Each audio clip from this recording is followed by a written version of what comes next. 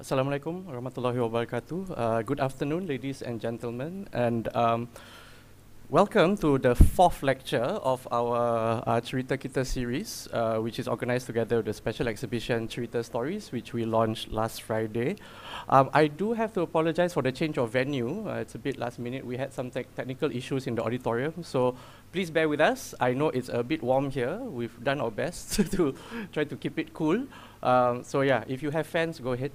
Yeah, um, yeah, and uh, please try to maintain the one meter distancing. Uh, yeah, we've tried to accommodate as many of you in here as possible. Okay, so uh, a bit more about the Cerita's uh, special exhibition. So Cerita shines the spotlight on the shared stories and the role of the storyteller uh, via an array of selected artifacts, signature, collaboration, signature collaborations, that MHC has presented over the past decade. So including our Senusantara series where we work with the various sub-ethnic community groups.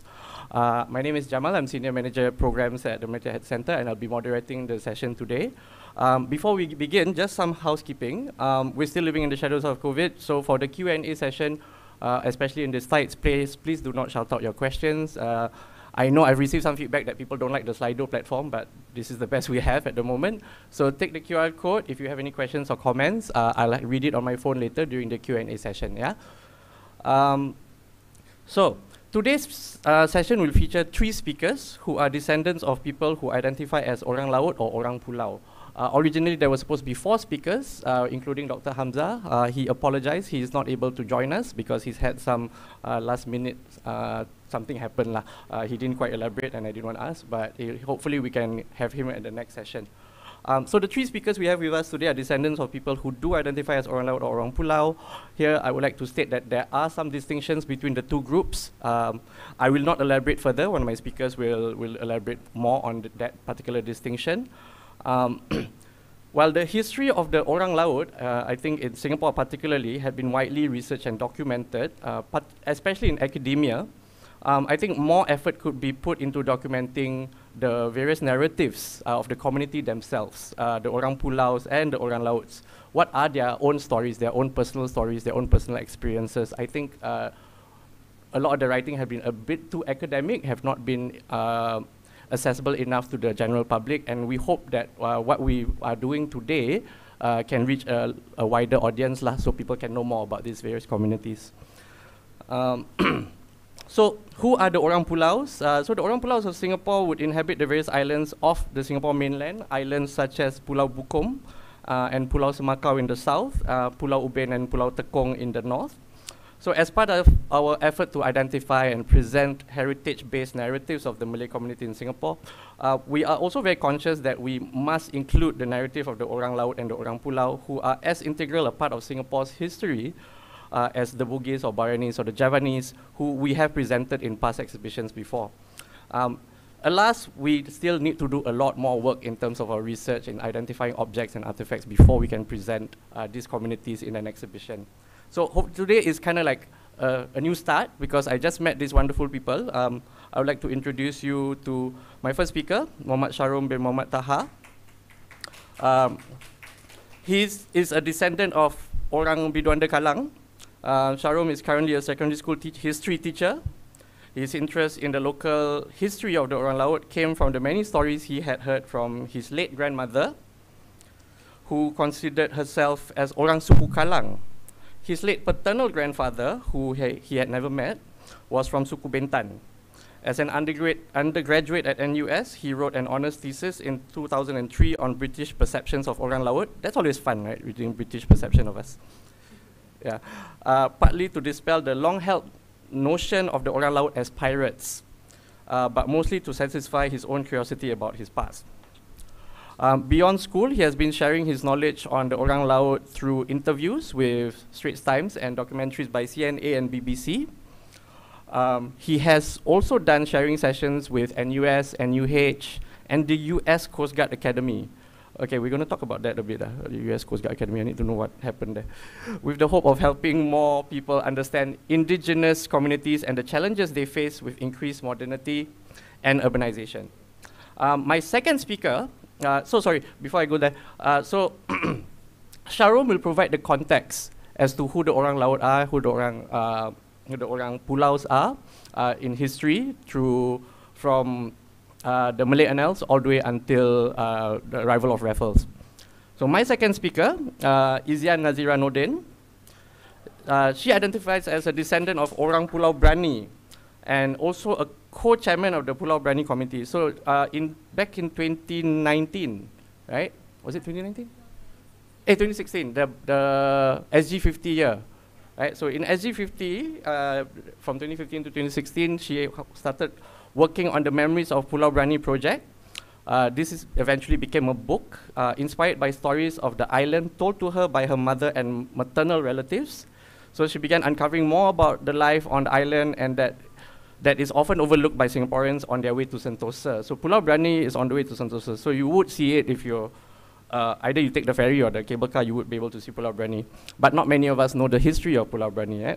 So Izian is passionate about causes that make people's lives better and is a strong advocate of the arts. If she could live on Pulau Brani for a day, she would spend it carefully navigating the narrow beams throughout Telok Saga. I'm not sure you can go there still, right? Can you? Cannot go there already. Okay, too bad. Resting at her mother's childhood home, standing on the highest point and observing the whole island and catch a movie at the outdoor theatre with a plate of Brani style roti john and bandung tarik. Sadly, I do not know how Brani style roti john looks like. I, I hope you can share a bit about that later.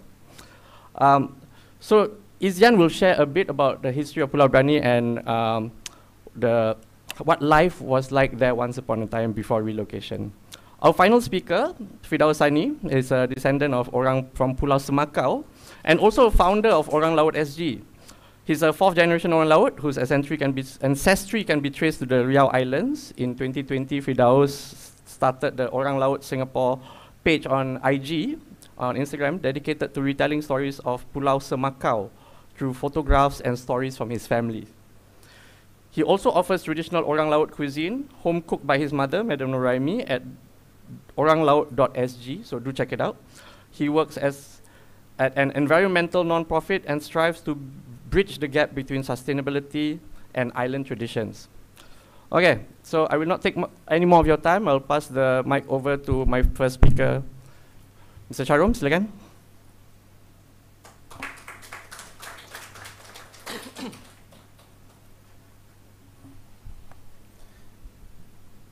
Assalamualaikum. Um, good afternoon, everyone. So nice to see so many people. Uh, so as, as Jamal had mentioned, I'm a descendant of orang Kalang and uh, orang Bintan on my paternal side. So today's sharing session really is about me um, and my work uh, for my thesis uh, on the British perceptions of Orang Laut, but also the family history, what I've heard from my grandmother, especially um, about the Orang Laut.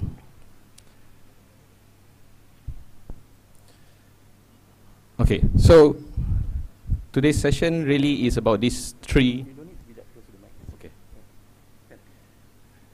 These three questions that I hope I can help clarify some some things about the Orang Laut. Okay, who are the Orang Laut? Uh, their role in the maritime kingdoms of this region, uh, in the in the Riau archipelago, and where are they now? Okay, let's let's start with the who are the Orang Laut. Okay, so if we look at anthropological studies, um, okay, so it suggests that the human hunter-gatherer communities that depend on the sea as a livelihood have been around even before the Common Era. Okay, so at least 2,000 years ago. Okay, and eventually, over the centuries, we have the formations of, of uh, kingdoms. Right, uh, Srivijaya came about about the 7th century, okay, and with its capital in Palembang, which is in Sumatra. Okay, the interesting thing about Srivijaya is the fact that its maritime power was derived from principally the uh, Bintan Island, right, Pulau Bintan.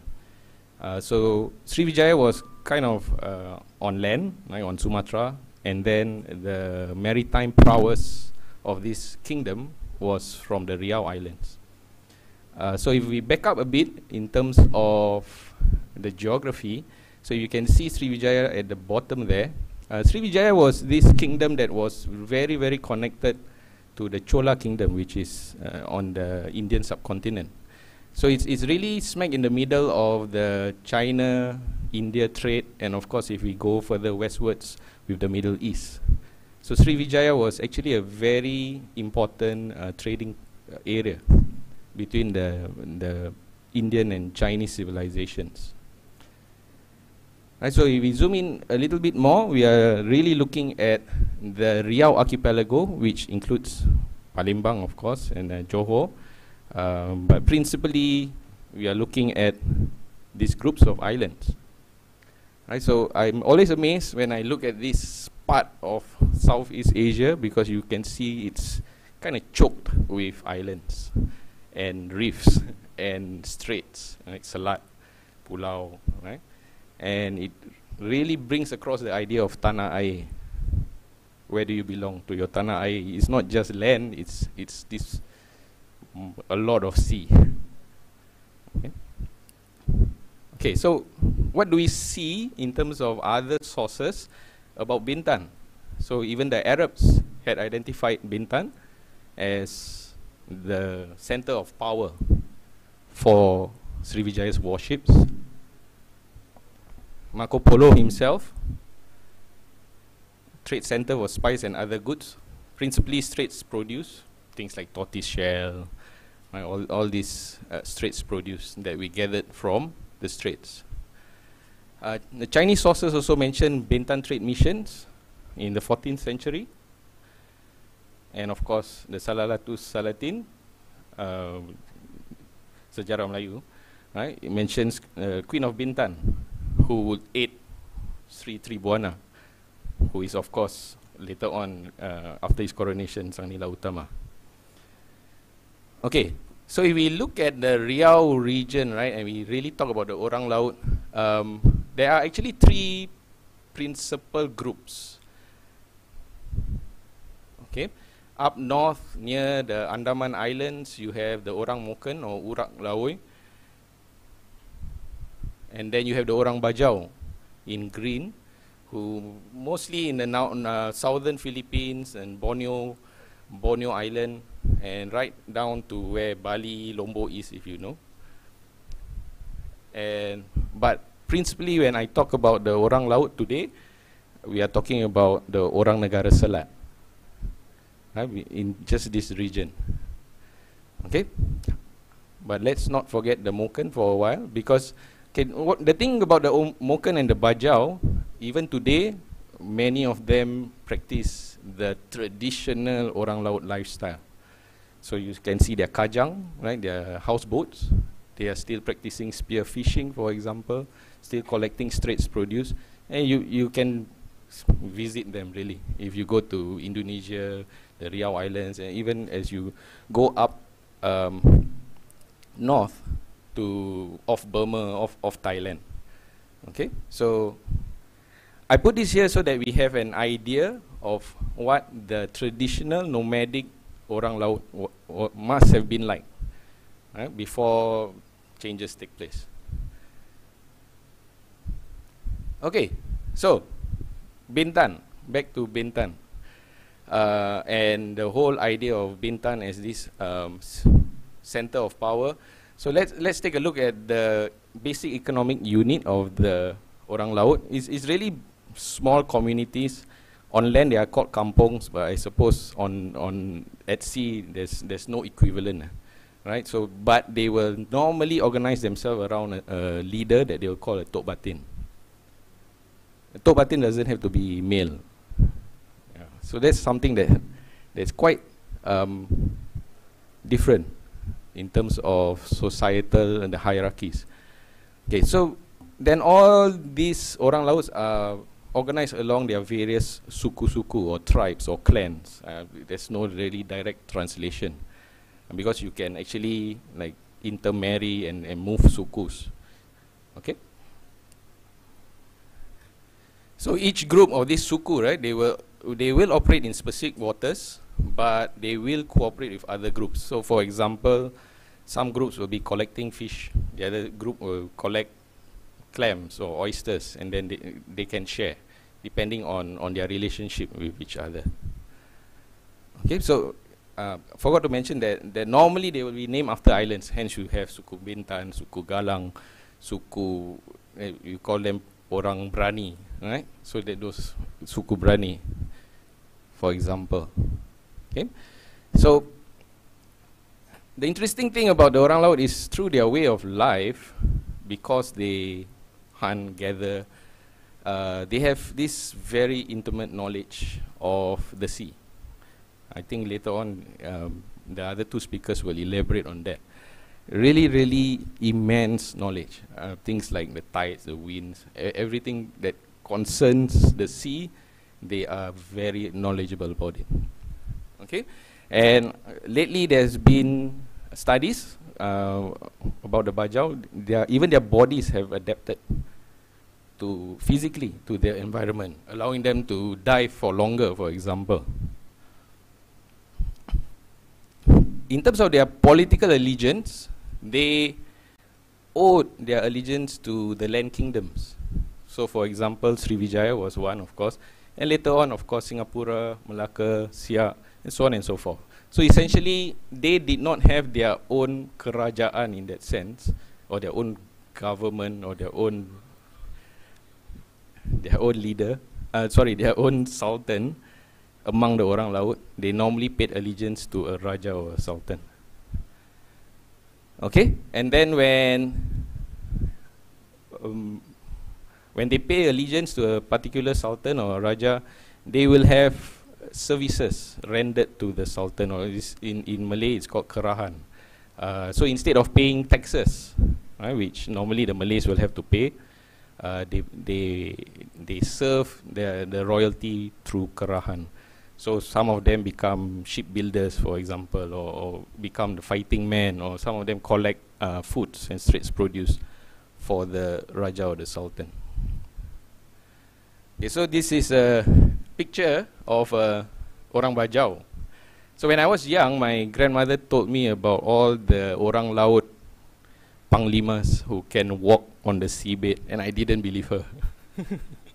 I was a kid, like four or five years old, and she, she's talking about uh, people walking on the seabed. I, I thought, well, my grandmother, surely this is a grandmother's tale. Until I saw videos of the orang bajau literally walking on the seabed. And if you think about, uh, if you dive, right, you know about buoyancy and all that, they literally can walk on uh, water. It's, it's pretty amazing. And you, you get a chance, go to YouTube, you look out for bajau spear fishermen and, and how they do this. Okay, so now I'm, I'm moving on a little bit about popular representations of the Orang Laut and, and very much, especially because I'm a teacher, uh, 20 years ago, the depiction of the Orang Laut normally is the Orang Seleta. These are pictures of Orang Seleta in the early 1900s, early 20th century. Okay, so depicted in their kajang and all that. So much so that people have this idea that Orang Laut only stay in kajang. which is problematic lah. Okay, because if you are going to be like uh, Sang Nila Utama's uh, warriors, right? How are you going to fight in this? Right, so, so that's that's something that never gelled with me. So I'm, I'm going to introduce you to some of the other orang laut crafts, uh, which are still around today. So this is a kolek laya. Uh, I think later on, uh, Izjan is going to talk a little bit more about that and the races that we had in the Southern Islands. Yeah. Kolek Layak, super vessel, right? It's about uh, 45 feet long at, at most. And this is principally a pursuit vessel by the Orang Laut when you want to chase down merchant ships, right? Or you want to make sure your enemy's warships do not enter the, the domain of your king.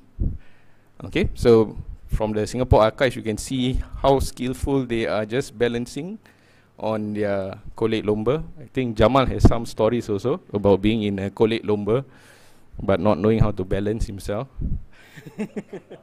yeah, so um, you can see these races still going on um, in in uh, Batam, Belakang Padang, right in the Riau Islands. Okay, so this was a picture from Pulau Brani as well, right, Izian? If I'm not wrong. but it's from the National Archives as well. So you can see. So you imagine when, when I was reading um, European reports, British, Dutch, so like 20 of them will be on the horizon, appearing on the horizon, and then you are a European merchant vessel, or you are a Bugis merchant vessel. So this is what the Orang Laut did for the king. More recently, 1905, you can see the old Parliament House. Right, so really in the 20th century, the Orang Laut, Orang Pulau were still racing this in their regattas. This is a New Year regatta. This time round, uh, the front sail is, is furled, so it's not unfurled yet. So they, they're about to start. Okay, so the other vessel that will give you an impression is really the Lanong, Lanchong, Lanchang, depending on the, the region you are from. So these are principally your war vessels. You have up to, you can have one, two, and but up to three deck of rowers. Typically two or three masted. Cannons were very commonly used if, if they had purchased the cannons from the Europeans. Okay, and, and in uh, native sources, they are described as lancang bertiang tiga, three-masted ships, or even kapal perang. Right, these are not piratical vessels, despite whatever the Spanish museum says. so these are vessels really uh, designed for war, for raiding missions, for for the king. Okay, so the the biggest, well-known, most well-known is perhaps Mendam Berahi. Uh, this is, of course, the ship by Hang Tuah, uh, who is a Laksmana. I'll talk about Laksmana later on.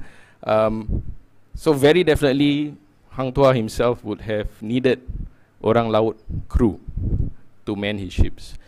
There are some some uh, questions into Hang Tuah's uh, ethnicity as well. Some people have also mentioned that he may be an orang laut because of his title of Laksmana.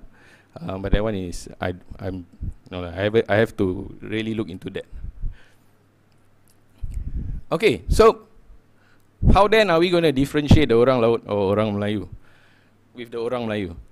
Okay, so so the simplest way to differentiate is really the principal dwelling, their principal dwelling, and of course their lifestyle. The more you are at sea, the more likely you are you will see yourself as orang laut. You practice orang laut lifestyle, right? And uh, of course, as you get closer and closer to land, orang pulau, and then those who are just dominantly on land is orang Melayu. Or orang Melayu dagang even. People the orang laut call them. Orang Melayu da dagang means business. And business people they, they stay on land they trade with the various uh, other kingdoms as well as among themselves. Okay so that's the kajang right? The, the very typical boat houses that you see and uh, that we perceive orang laut are always in. Um, sapau and of course your stilt houses Okay, the other thing about the orang laut that is quite different from the orang Melayu is their belief system. Very, very likely the orang laut are not Muslim or they, they converted to Islam quite late. Right, as, as opposed to the Melayus, orang Melayu, right, who, who live on land. So they will have their own belief systems, uh, different spiritual uh, beliefs. Um, so, for example, they, they, still believe in some kind of creation uh, power, right? And uh, a lot of some sense of ancestral veneration, right? Uh, a lot of offerings giving given to the sea. So, so quite different from the land-based Malays. And of course, the whole idea of self-identity, identifying themselves as orang laut, you know, orang kalang, orang orang Bintan, and all this. Okay, so that's that's the principle. Those those are the main differences.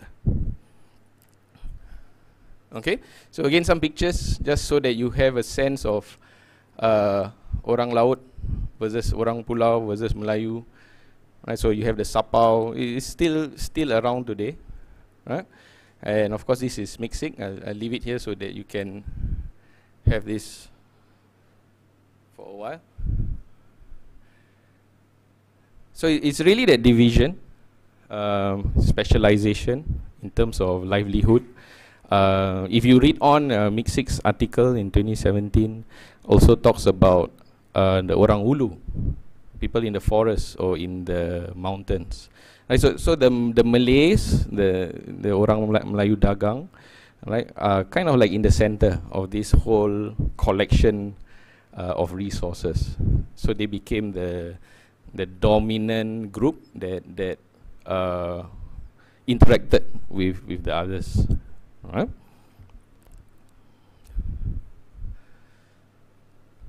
Okay, so now we're going to look at the establishment of uh, maritime kingdoms and the role of orang laut uh, in that establishment. Again, yeah, th this map is from the sea nomads. Again, it's the idea of tanah air. Okay, so what was their role? It was very clear that they were considered the citizens of the Sultan or subjects of the Sultan, uh, rakyat laut. Uh, Wolters in the fall of Srivijaya had mentioned that they were Maharaja's maritime subjects par excellence. So really, this idea that they were very loyal, they they, um, they were subject to the king, right? And the interesting thing is Sri Tribuana, who later on become uh, Sang Nila Utama, had married into the Queen of Bintan's family uh, married the daughter of the Queen of Bintan. So this actually gave Sang Nila Utama, Sri Tribuana, uh, a sense of, uh, he had his bannermen, his bannermen were from Bintan, and he would ennoble uh, the orang-orang laut, right, through this Abhisheka ceremony. So this, this sacred bond kind of was, was forged by Sri Tribuana, while he was on Bintan. This was before he left to to found Singapore. Right. So because of his wife, that connection to Bintan, and that immense naval prowess that, that Bintan was supposed to possess, right? But uh, with that connection, you actually have uh, Sri Tribuana uh, being able to to dignify the the orang laut at the point of time. And of course, we all know that he found the new kingdom of Singapore with, with the help of his Rakyat Laut because he needed them to kind of carry the whole entourage from Bintan all the way to Singapore. Okay, so we all know the story as well, right? The casting of the crown. So that actually really signifies in, in Malay mythology or in, in uh, our understanding of the cosmos, that's, that's like him dumping away his Palembang title and, and and becoming the, the first king of Singapore, if you like it. Okay, and again, you see him having uh, his suku-suku laut, and they would give service to Sang Nila Utama. Okay, so a lot of this was was told retold by my my grandma, right? So really about service to the king. Okay, and this is where you have titles given, especially to the Orang Bintan. Uh, and the highest title is that of Laksmana, which kind of is equivalent to today's admiral. Like you would call Teo Chee Hean Laksmana Teo, that kind of thing. Yeah. just, just as a modern equivalent. So each suku had their own roles. Uh, the Laksmana Bintan would, would lead these suku-sukus into battle. Right, you had your fighters, your rowers. Uh, you even had who cooks, uh, who collects uh, straits produce, uh, who collects the rations, right, and of course your shipbuilders. They even had the Orang Kalang were also known to be good uh, cigarette rollers.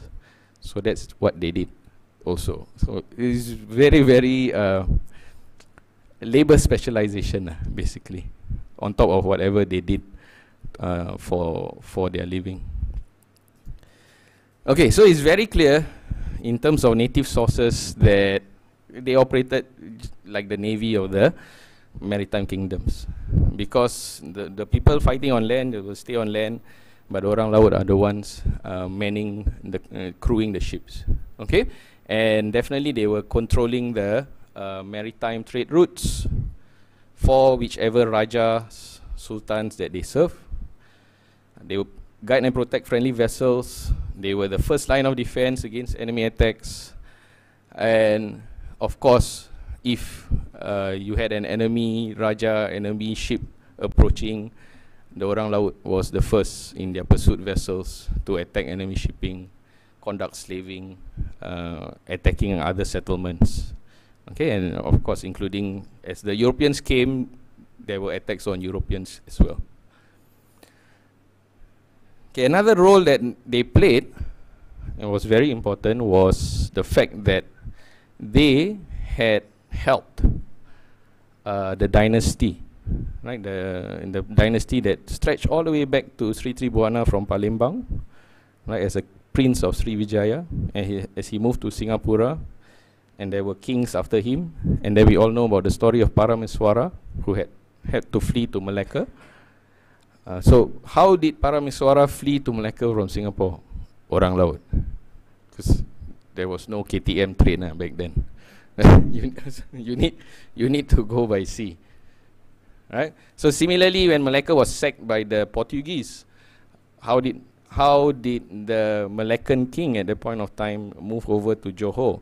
Actually, he didn't move straight to Johor. He actually moved to Bintan and tried to retake Malacca a couple of times but failed.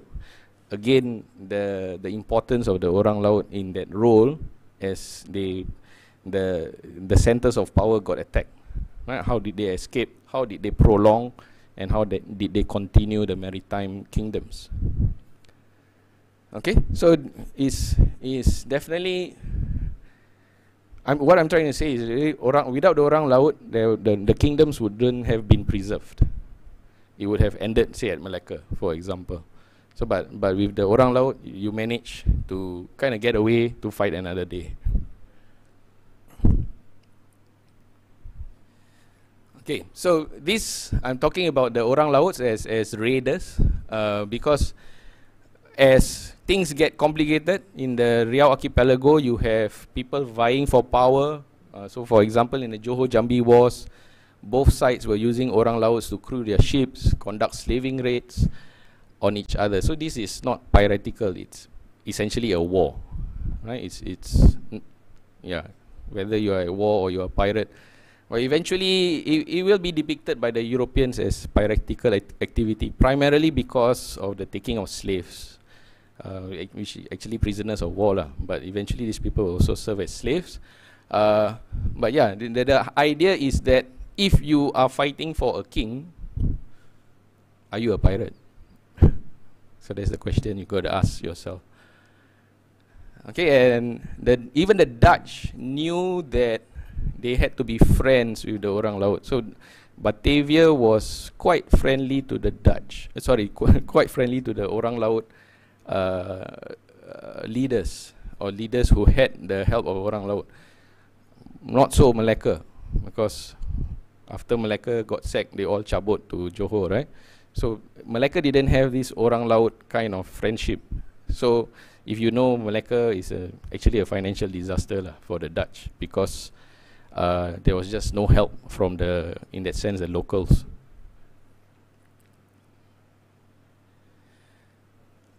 Okay, so by the 17th century, you have uh, the Johor Riau Kingdom uh, and the Temenggung and Shah Bandar, sometimes called Shah Bandar, most often times called Temenggung, right? Uh, they were already in uh, settling down in Singapore.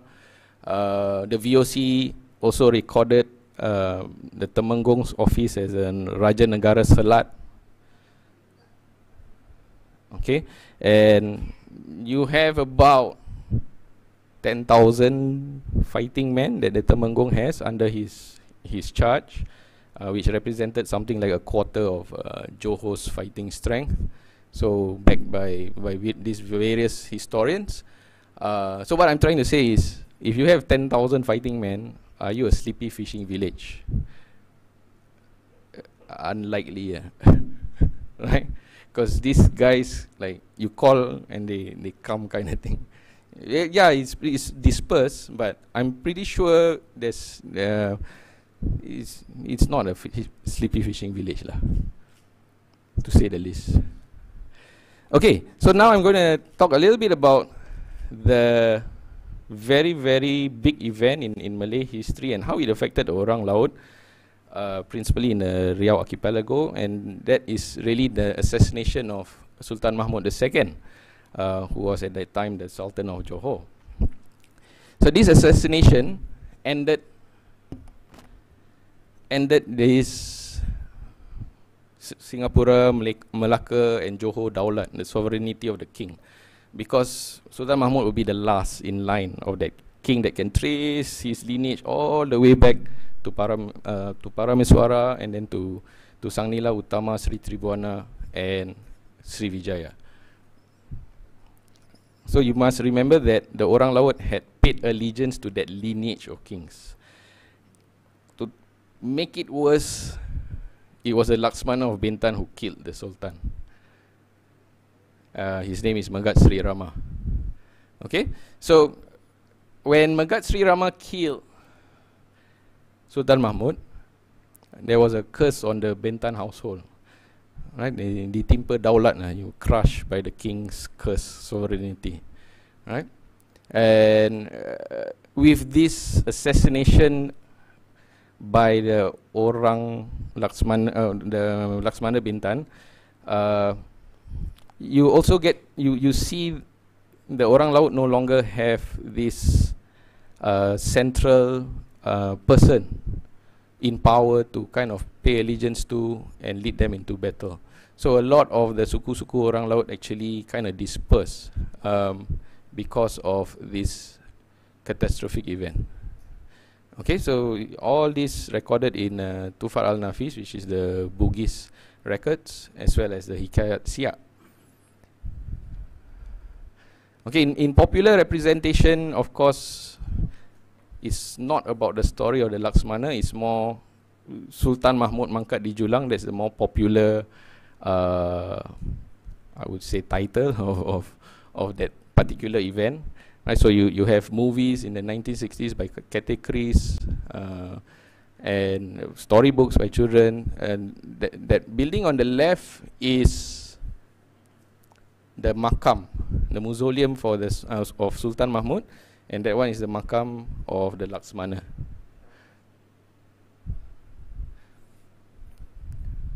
Okay, so we without the powerful center, uh, the, the Orang Laut never really regained their prominence. Okay, and the whole kingdom of Johor, Riau, Lingga would be divided because there will be many rajas vying for power. So you had the orang laut also fragment fragmenting. Okay, so you have Raja Kecil and so many rajas basically, kind of like a local Game of Thrones. Okay, and to to make it to make it even more interesting, maybe this one is the second season. The Europeans also come, right, and also vying for power. Okay, and of course, let's not forget the Bugis. Right, with the arrival of the Europeans, the Bugis got displaced. I think uh, Professor Fendi was had a nice talk about the Taliwang, right? Uh, Sri Watang, uh, and talking about Bugis warriors coming into this area as well, right? And the Bugis themselves will try and be uh, try and take over Malacca and get killed. Uh, but this is where you see the Bugis really get into the whole uh, Riau Archipelago uh, in in great numbers. Okay, uh, so eventually by 1811, uh, Sultan Mahmud III dies. Uh, he's from the Bendahara dynasty. So after Mahmud II uh, got assassinated, power was uh, placed in the hands of the Bendahara. So Sultan Mahmud III is from that Bendahara line, and he passes away, which brings us to, I believe, uh, everyone knows this uh, he has two possible successors, right? Tengku Hussein Shah and Tengku Abdul Rahman. Okay, so that brings us to just nicely to the 19th century, uh, where we know the British is coming to control maritime trade, and they saw themselves surrounded by pirates and having to civilize these very piratical natives uh, who were like raiding each other and Europeans. Uh, so they, they tried to get local chiefs to cooperate. So that was one very big way, when he, they got Hussein Shah to come over uh, from from Riau and then sign sign the treaty. That was very convenient for Raffles. Uh, so those those who did those who did uh, work with the British were legitimized, became sultan, given a house, and those who did not were branded as piratical. Okay, so you see, as 19th century, late 18th, early 19th century, the depiction of the Orang Laut, kind of they fell from favor. They are no longer trusted. Assassinated the king. Uh, the Bugis were, were coming in to, to kind of take over their, their role as, as fighting men. Uh, and they were increasingly being depicted as pirates. And the British increased anti-piracy campaigns to control the straits. So you have military actions. Uh, the most famous, of course, is uh, Diana and, and with the steamships, and you reports of them firing on vessels as well as settlements. Okay, but on top of that, of course, there's still negotiation, civilization, getting the Temenggung, for example, to not rate shipping. Right? Those were some of the things they did. Uh, we come to the 1824 Dutch Treaty. So you see that even the Europeans collaborating with each other for anti-piracy campaigns. 1824 really represented that split, where it was uh, confirmed, right, that that anything north of, of Singapore belonged in the British sphere of influence, and then anything south of Singapore was under the Dutch. Okay, so the Orang Lauts uh, and their communities had, had to adapt. Okay, in Singapore itself, you have these groups of Orang Laut. Okay, the Orang Selat, Orang Gelam, Orang Kalang, and Orang Seletar. Uh, where are they now? So I thought I'd, I'd give you some a lead in for Izian. So as 1824 pass, right, you get more and more uh, European intervention. Uh, so a lot of the Orang Lauts were forced to settle. Right, they they couldn't carry out their nomadic life uh, lifestyle. Uh, so a lot of them were, were forced to settle on various various islands around Singapore. Okay, so this is Teluk Saga Pulau Brani, which later on uh, Izian will expand on. Okay, so we, we have the fracture of the Johor Riau Lingga Sultanate uh, and the orang laut is piratical, uh, piratical the perception uh, has been around uh, until very lately. Uh, so if you were asked whether you are orang Melayu or orang laut, orang suku, the various suku, sometimes people like paise ah don't want to say I orang laut. Like people think I'm a barbarian or uncivilized or like eat raw fish. Yeah. So there's also something that the orang laut had to face. Uh, assimilation through marriage was very common uh, up till today and uh, the role of religion you see uh, a lot of changing practices uh, of the orang laut is also because of their conversion to mostly Islam but also to Chris Christianity. So you you lose certain cultural traditions that uh, that is due to to the increased role of religion in these communities.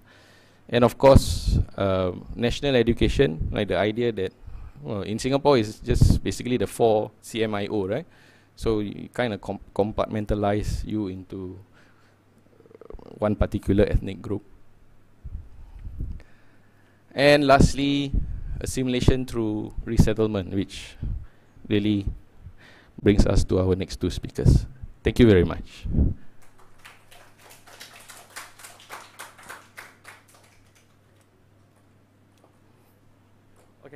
Uh, thank you, Sharum. I'd like to invite Izian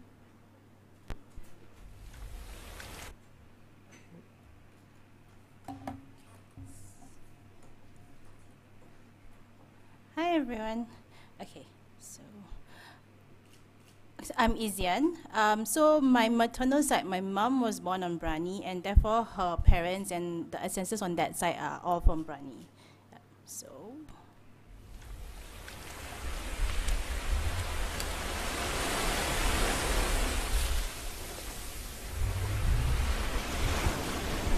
So if you could humor me, let me just set the context for this island, okay? So if you would like to like, close your eyes and just imagine, right? So um, I'm gonna read like a narrative on how it might be like when you lived on the island. So, meandering through wooden homes on stilts are thin planks of wood barely 15 centimeters wide, known as titi. The houses are built close to each other all the way out to sea. A gentle sea breeze wafts through open doors until the evening, when some islanders close their doors and windows for some privacy during the evening prayer. The kampong, Telok Saga, is aglow with the sun's setting rays. Very soon, this call to prayer will be heard. Children rush home for fear of incurring their parents' wrath. The men also make their way home balancing on planks like seasoned acrobats after a hard day's work or after catching up with friends at the coffee shop. In the next kampong of Masak Timah, a brisk 10 minutes walk away, barracks of neat cement houses line the area. The landscape differs, but the scurry of families preparing for dinner and evening prayers are similar. As the sun sets, the omnipresent tin smelting factory owned by the Straits Trading Company sees lesser activity as husbands and, and young adults return to the comforts of their home.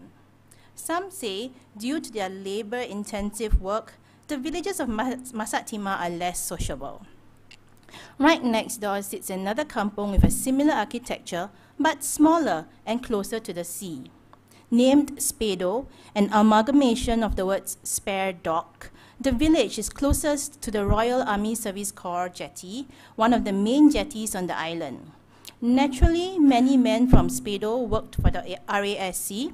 Their working hours differ, so the evening hustle is slower than that of the other villages. Instead, the flurry of activity is concentrated at the jetty, where the last batch of mainland employees and students are alighting from the ferry. At the other end of the island is Selat Sengkeh. The village is located one third at sea and two thirds on land, with the houses made of wood like those in Telok Saga. Selat Sengkeh lies in the outermost part of the island with mesmerizing views of the horizon. Night falls swiftest in this part of the island as the inhabitants' minds drift towards a possible journey to Tanjong, a nearby fishing oasis despite its treacherous waters.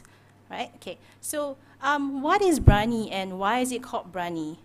So the idea came about. Okay, the legend is such that um, there were a lot of pirates that were attacking Singapore, right? And they actually they actually hang out. They hung out at Pulau Brani because it was a very nice sheltered water area, and so the Temenggong was asking, calling people, uh, asking people, um, who's brave enough to fight with these pirates? Who's brave enough to defend Singapore? So a few people came, and a few people decided, yeah, we're brave enough, and they moved to Pulau Brani. Of course, the people also came from other parts of the uh, of the Nusantara. Yeah. So um, even after the move back to the move to the mainland, Singapore, they continued their bravery because in 1974, um, two of three, uh, two of the three people who piloted the boat back, uh, who, which had the the pirates um, who hijacked the Laju boat in 1974, they volunteered to actually bring the pirates back. And this um, and this hijacking, these pirates actually had like, um, sorry they they had okay they had um, like machine guns and all kinds of um, explosives on board. Okay, so how did these memories of Pulau Brani project even come about, right? That's when you know at home we would, I would hear my mom say like ah dulu kat Pulau Brani kan you know like last time when, when I was on the island and and I met other people who also heard those lines and when we attended weddings we kept hearing tu orang Telok Saga, tu orang Selat Sengkeh, and then you, you start to wonder what are all these, and you start to question and start to know more about it, right? And that's when we launched this project um, in conjunction with the SG50, and we um, took to asking people to share their stories. um, after we published the book, we had a gathering where we gave them the book, and this is the book. And we also interviewed these islanders. Um, snippets of them will be shown later. So, who are these islanders? Okay, um, bear with me. The next slide will actually show a, a video done by the British Army. Just a stone's throw across the harbour from the city-state of Singapore lies Pulau Brani, the brave island. Like most of the small islands that surround Singapore, its people have always been men of the sea, orang laut as they are called locally. Their houses perch over the water in the traditional way, and their children grow up with the sound of the sea in their ears and the feel of its warm caress around their sturdy young bodies.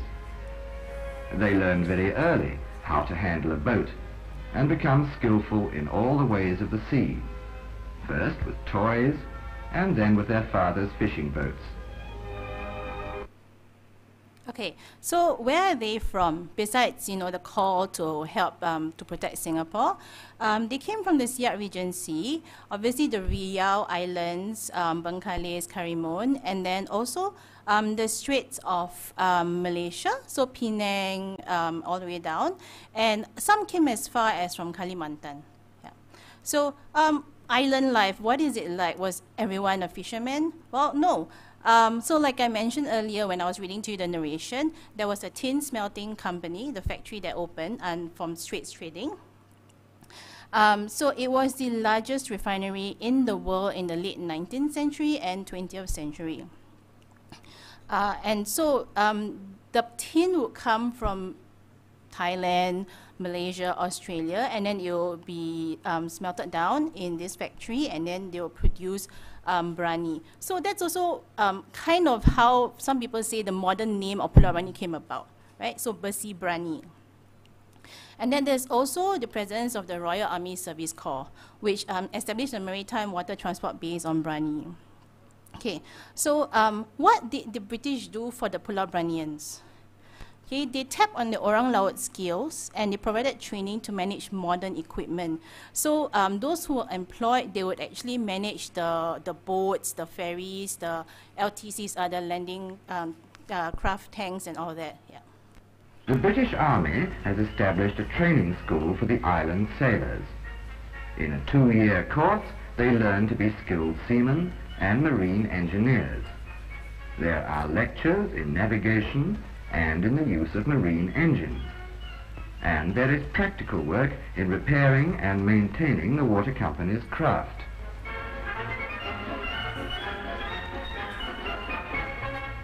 Singapore is a military base, and because of its geographical situation, its communications must be by both land and sea. The Water Transport Company of the Royal Army Service Corps has its base on Pulau Brani, and here it teaches local recruits to handle and repair modern mechanized boats of various types.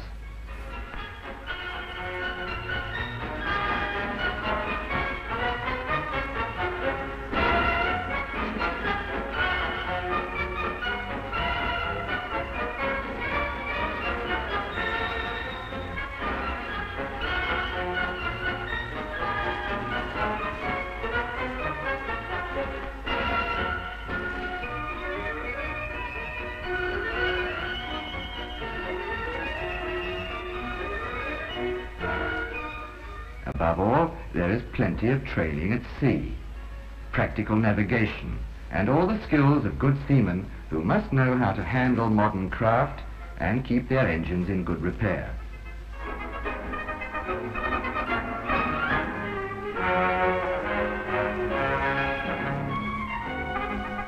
The British Army has trained Malay instructors, who in turn pass on knowledge to the recruits in a carefully planned course of seamanship.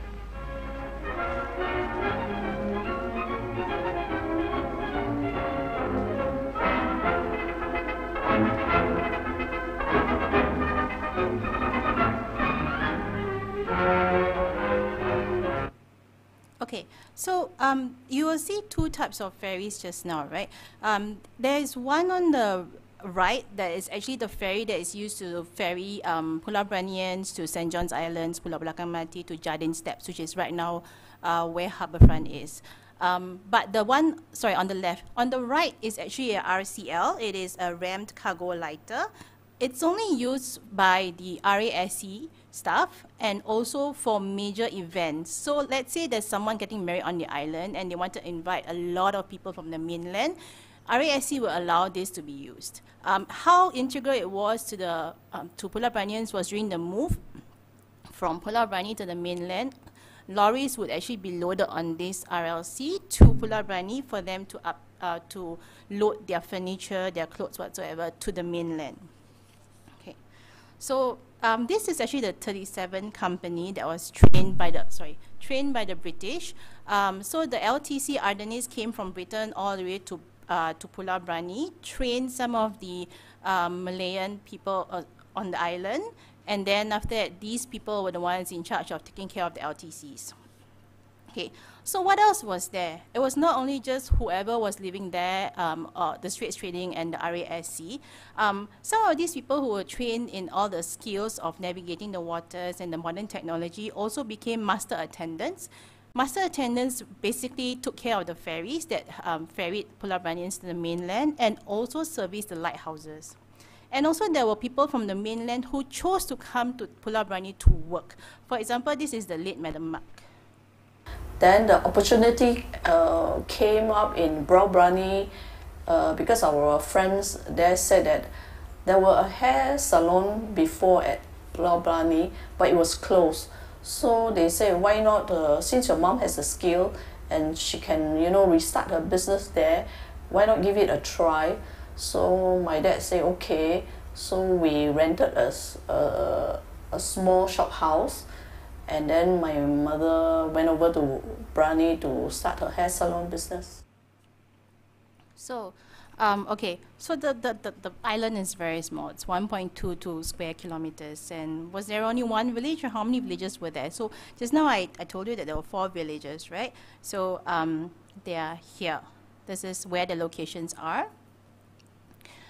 And so this is Telok Saga. It is the largest village on the island, and you can see the planks. This um, there was a there's a before picture before the government came and helped to widen the planks, and then there's an after picture. So usually the Malays would stay further out in the water, while the Chinese would stay closer to the shore because they own shops, and then so they they stayed near their shops. So here is a, a snippet of how the islanders in Telok Saga got married. Habis ni kahwin dekat mana? Dekat Pulau Berani kat rumah nenek lah. Yang lelaki dekat rumah dia lah sendiri. Habis Padang ni? Dia berarak. Oh. Berarak, ah, berarak. Berarak daripada uh, uh, Padang tu terus datang rumah nenek lah. Ah. Uh, kan berarak dulu kan. Lepas tu kat rumah nenek banyak sangat orang ke? Banyak, penuh semua. Habis buat bangsa. Ha? Bangsa tu apa? Buat buat buat pelantar. Orang datang-datang semua. Okey, okey, okey. Ha. Jadi lelaki masak sendiri, perempuan masak sendiri. Ha ah. Tak penat ke? Ha, ada tukang masak lain dan tukang masak Oh, ada tukang masak. Ha, Kira kan teluk saga satu, teluk saga tolong lah. Ha, tolong gotong royong lah. Tapi ha. panggil orang masak upah juga. Daripada mana? Orang Berani sengkir, orang sak sengkir. Selat sengkir. Ha, orang sak sengkir. Mak Yang Kang tu nama dia. Ha, dia tukang masak. Hmm, masak berapa ratus kita jemput lah. Pasal kursi meja lah. Nanti uh, pinjam-pinjam tongkat, buat pelantar, berapa pelantar nak buat untuk masak, untuk orang datang. Ha, tak roboh pula. Tak roboh. tak roboh. Ha. Habis Semua ni, orang datang tolong gotong royong orang kampung kan. Nenek punya rumah kan lebih kat laut situ kan? Ah, ha, kat laut sikit. So kira kan semua kena taruh lebih kayu-kayu ah, untuk taruh tongkat banyak-banyak lah. Aku tak nanti kan roboh kan. ah. Okay, so this is my grand auntie. Um, so she explained how you have to borrow stilts and planks to actually build extra space for the cook to cook and to put um, seat tables and seats. So you can just imagine on the left side is um, how it will happen in Telok Saga or Selat Singgi, and on the right side is more towards the, the mainland area, how a wedding would take place. So this is um, Kampong Speedo. It's all barrack style, and um, most of them work for RASC. And then um, this is Masat Timah. You can see the furnaces of the uh, of the Straits Trading Company, and um, it is said that the waters near Masat Timah it's more black because of the wastewater from the factory. And lastly, it's um, Selat Sengkeh. So you can see, uh, they're actually bungalows and terrace houses. So their brick houses are more far apart. It's not so terrace style. And these are the next few slides are just pictures of the island. So here it's um, tin smelting factory and the Spedo dock. Um, on the hill where the most of the British live, they lived in on land on the hill, and then you can see the view. And here, um, I put this picture here because it's so interesting that on Pulau Brani there is a Bata shop. One of the shops here is a bata shop. Yeah. Uh, and facilities on the island. So there are soccer fields, there are schools, there's a community club, there's a mosque, and badminton, sepak takraw. Yeah. So um, we will hear from the arwah Madam Nafisa about the facilities on the Brani in terms of like water and electricity. Ni apa? Uh, kemudahannya macam mana? Macam uh, elektrik. Oh, kemudahannya kurang nah ya sebab apa air kita di, di tempat kampung-kampung semua belum ada air paip. Semua dia ambil air dalam perigi. Sana memang ada satu perigi besar. Ha, di situlah dia orang mereka ambil air di situ. Lampu pun tak ada lampu elektrik. Semua pakai lampu minyak lah yang biasa lah. Hmm. Lagi satu eh, macam Yalah macam apa-apa kesusahan apa tak banyak lah tak ada apa-apa masalah. Okay, so um, Arwah Madam Nafisa was from Selat Sengkeh, I believe. And um, so she was talking about the time before uh, independence and when the government came to actually expand and provide electricity and um, pipe water. So it is um, important to note that for the barrack-style housing in Masat Timah and Spedo, they actually had earlier access to pipe water and electricity compared to Selat Sengkeh and Telok Saga with the stilt housing. Okay, so what was done for leisure on the island, right? Um, here is uh, another part of the video. Football, which is very popular, is encouraged by the army who coach the players. They aim now at developing an island team.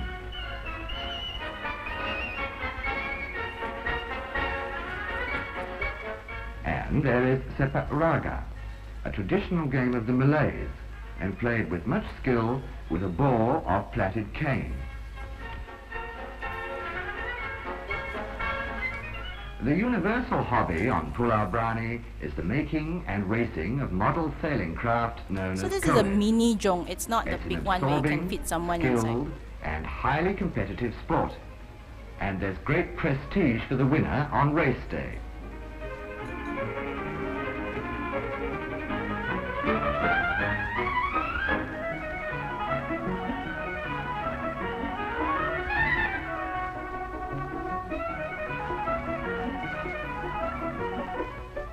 For it. There they go. And a stiff breeze carries them away.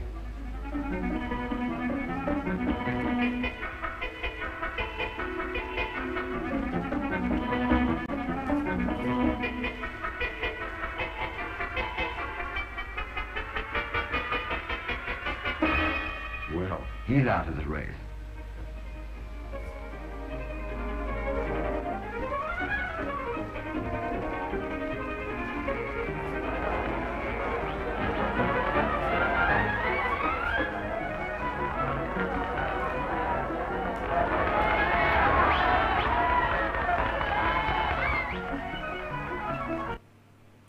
It was quite a prestigious competition, so a lot of people really took part. And um, the important thing about this is that it, you can't be in the jong, right, because it's a small one. So you really had to maintain the equilibrium right from the start. Okay. So besides the jong competition, there is also the football club, right? So the uh, uh, Pulau Branians were quite famous for their soccer, and they had a club called Darul Bahar Football Club, and it had its own song. Darul Bahar kelab di laut.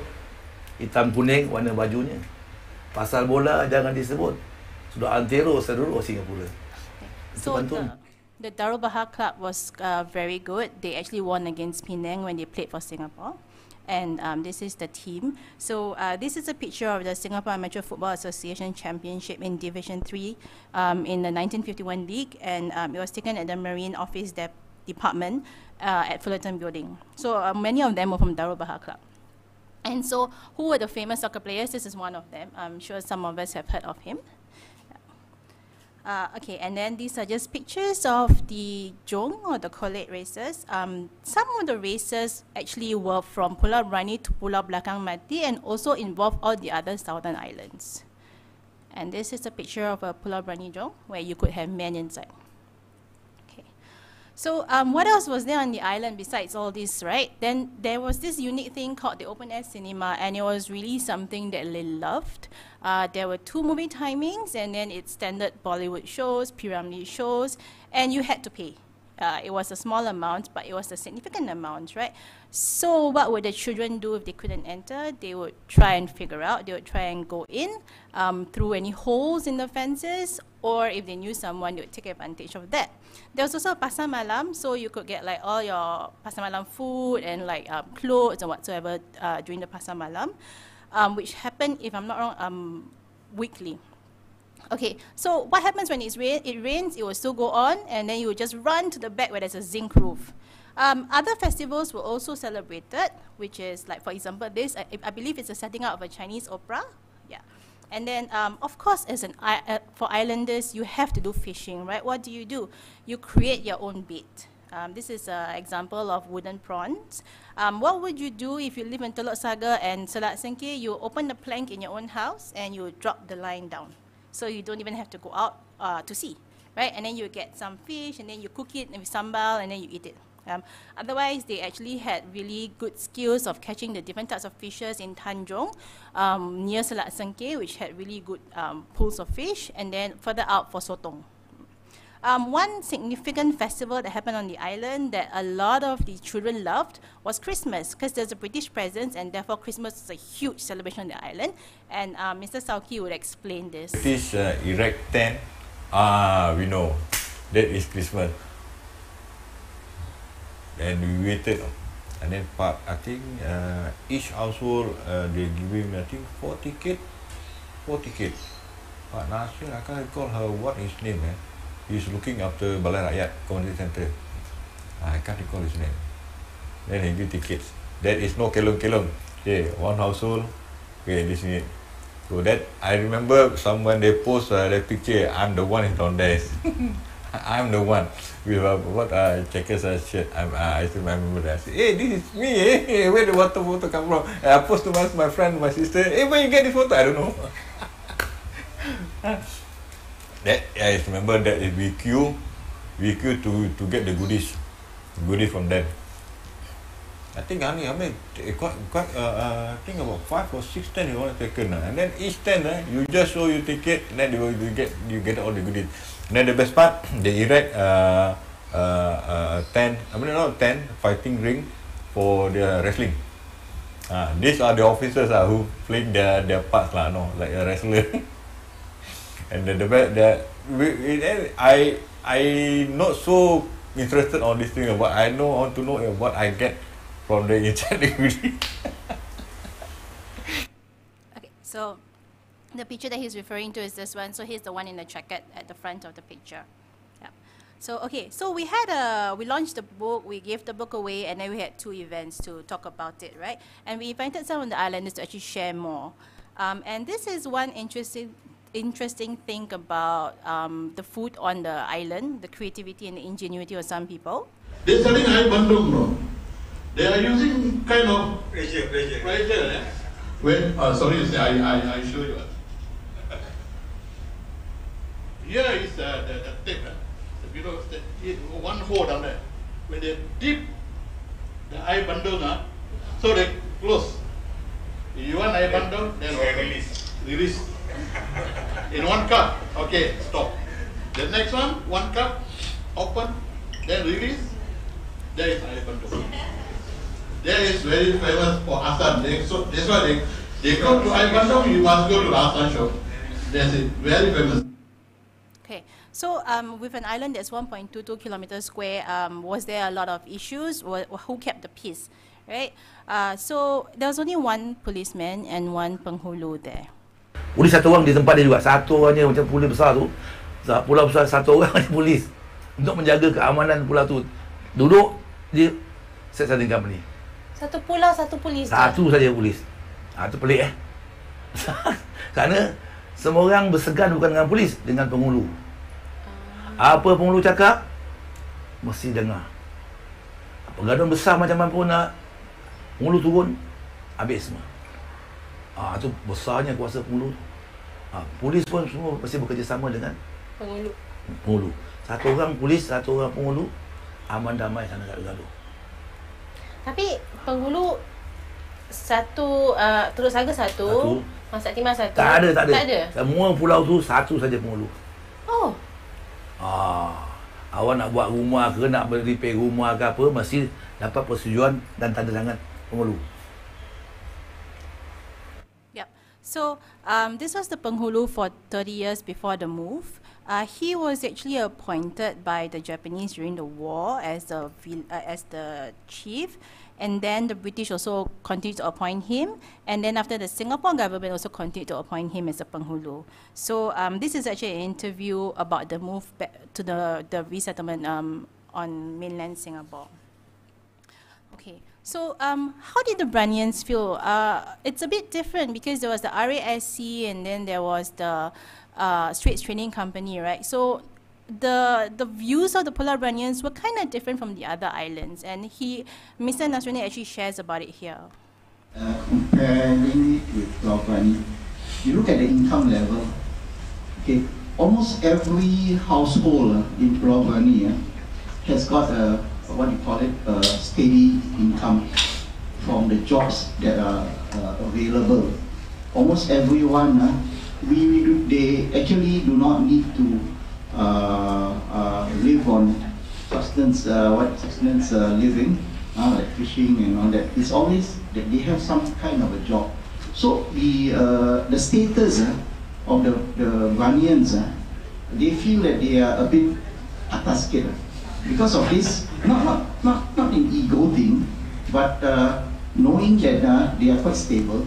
Uh, then you find that the the the the what do you call it the outlook towards life uh, is is a bit different because you know that you have something to depend on the children are more or less uh, what do you call it uh, assured uh, and being very close to Singapore Island you find that the uh, the Branians uh, feel that they are a bit special okay as compared to like Sudong Hawaii and uh, whatever the other southern islands, islanders, especially from also the Indonesian as compared to the Indonesian islands. So you find that the Branians, uh, you find that they, they, have, they, they, think that they are a, little bit more special. Uh, I think that is maybe can answer that, that question about why the Branians uh, feel that they are a bit special. Yeah. Uh, of course, on the island, there are different levels of income. There are some who actually chose to be their own bosses, so they actually had their own sampans with students and um, people will also take because they would prefer sampans rather than the bigger ferries or the RCL, right? So they were their own bosses. And then there are also fishermen, of course. And um, so when the move happened, right, um, there was a lot of uh, sentiments about we do we really have to, and most of the people who started moving were um, the three others, which is Masak Timah, and Spedo. The last to leave were actually Teluk Saga people. And how did they feel about it? So you can actually just see some of the anecdotal sharings here.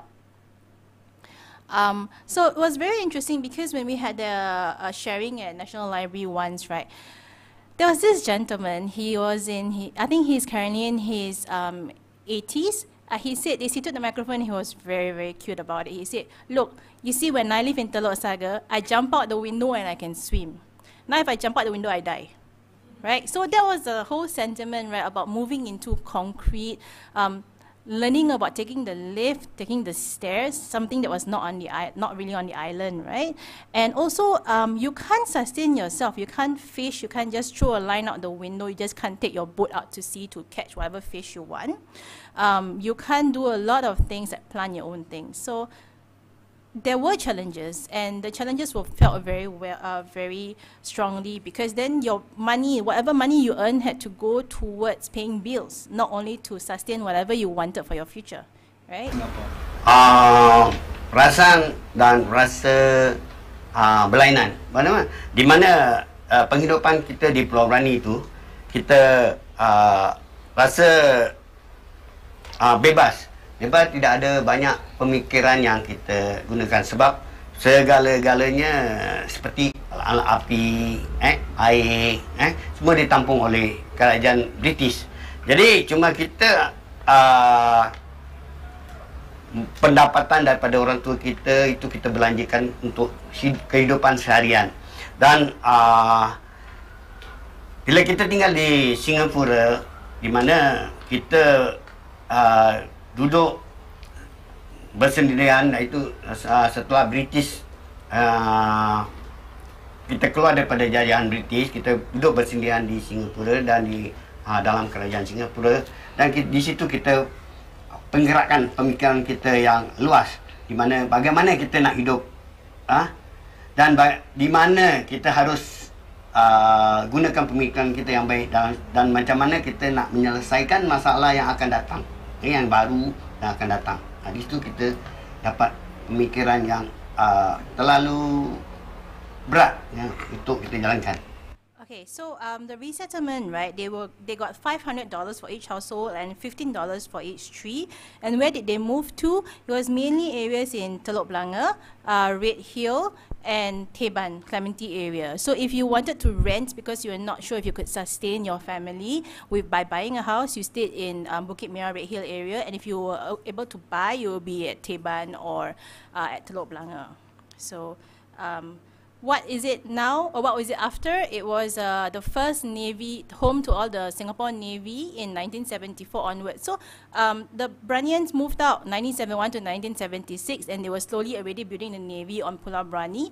And then now it's also a, uh, the Brani terminal for PSA. Okay. So uh, with that, I end my presentation. Thank you very much. Uh, these are the sources and these are the wonderful ladies.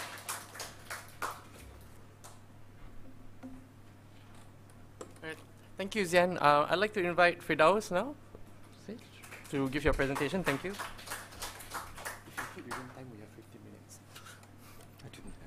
Hello.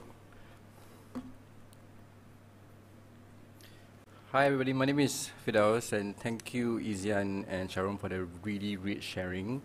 Um, I am a who am I?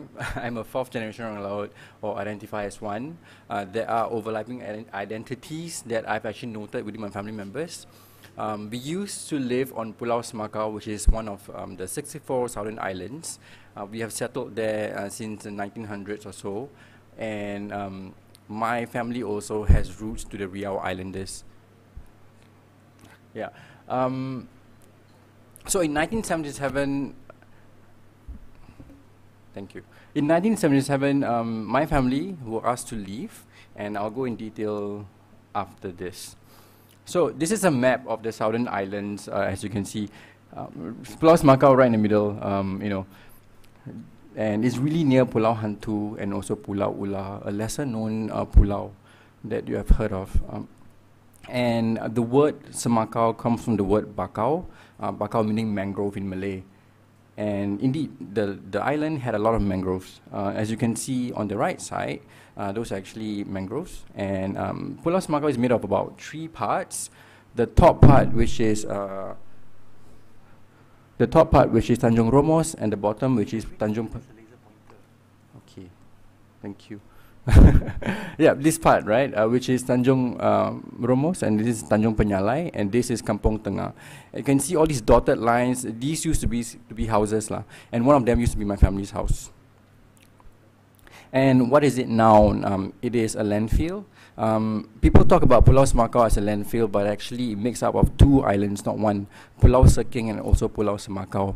And Pulau Seking, I think, um, you know, it has been completely absorbed into the island itself. Uh, thankfully, Pulau Semakau, it is still in existence, at the front part at least.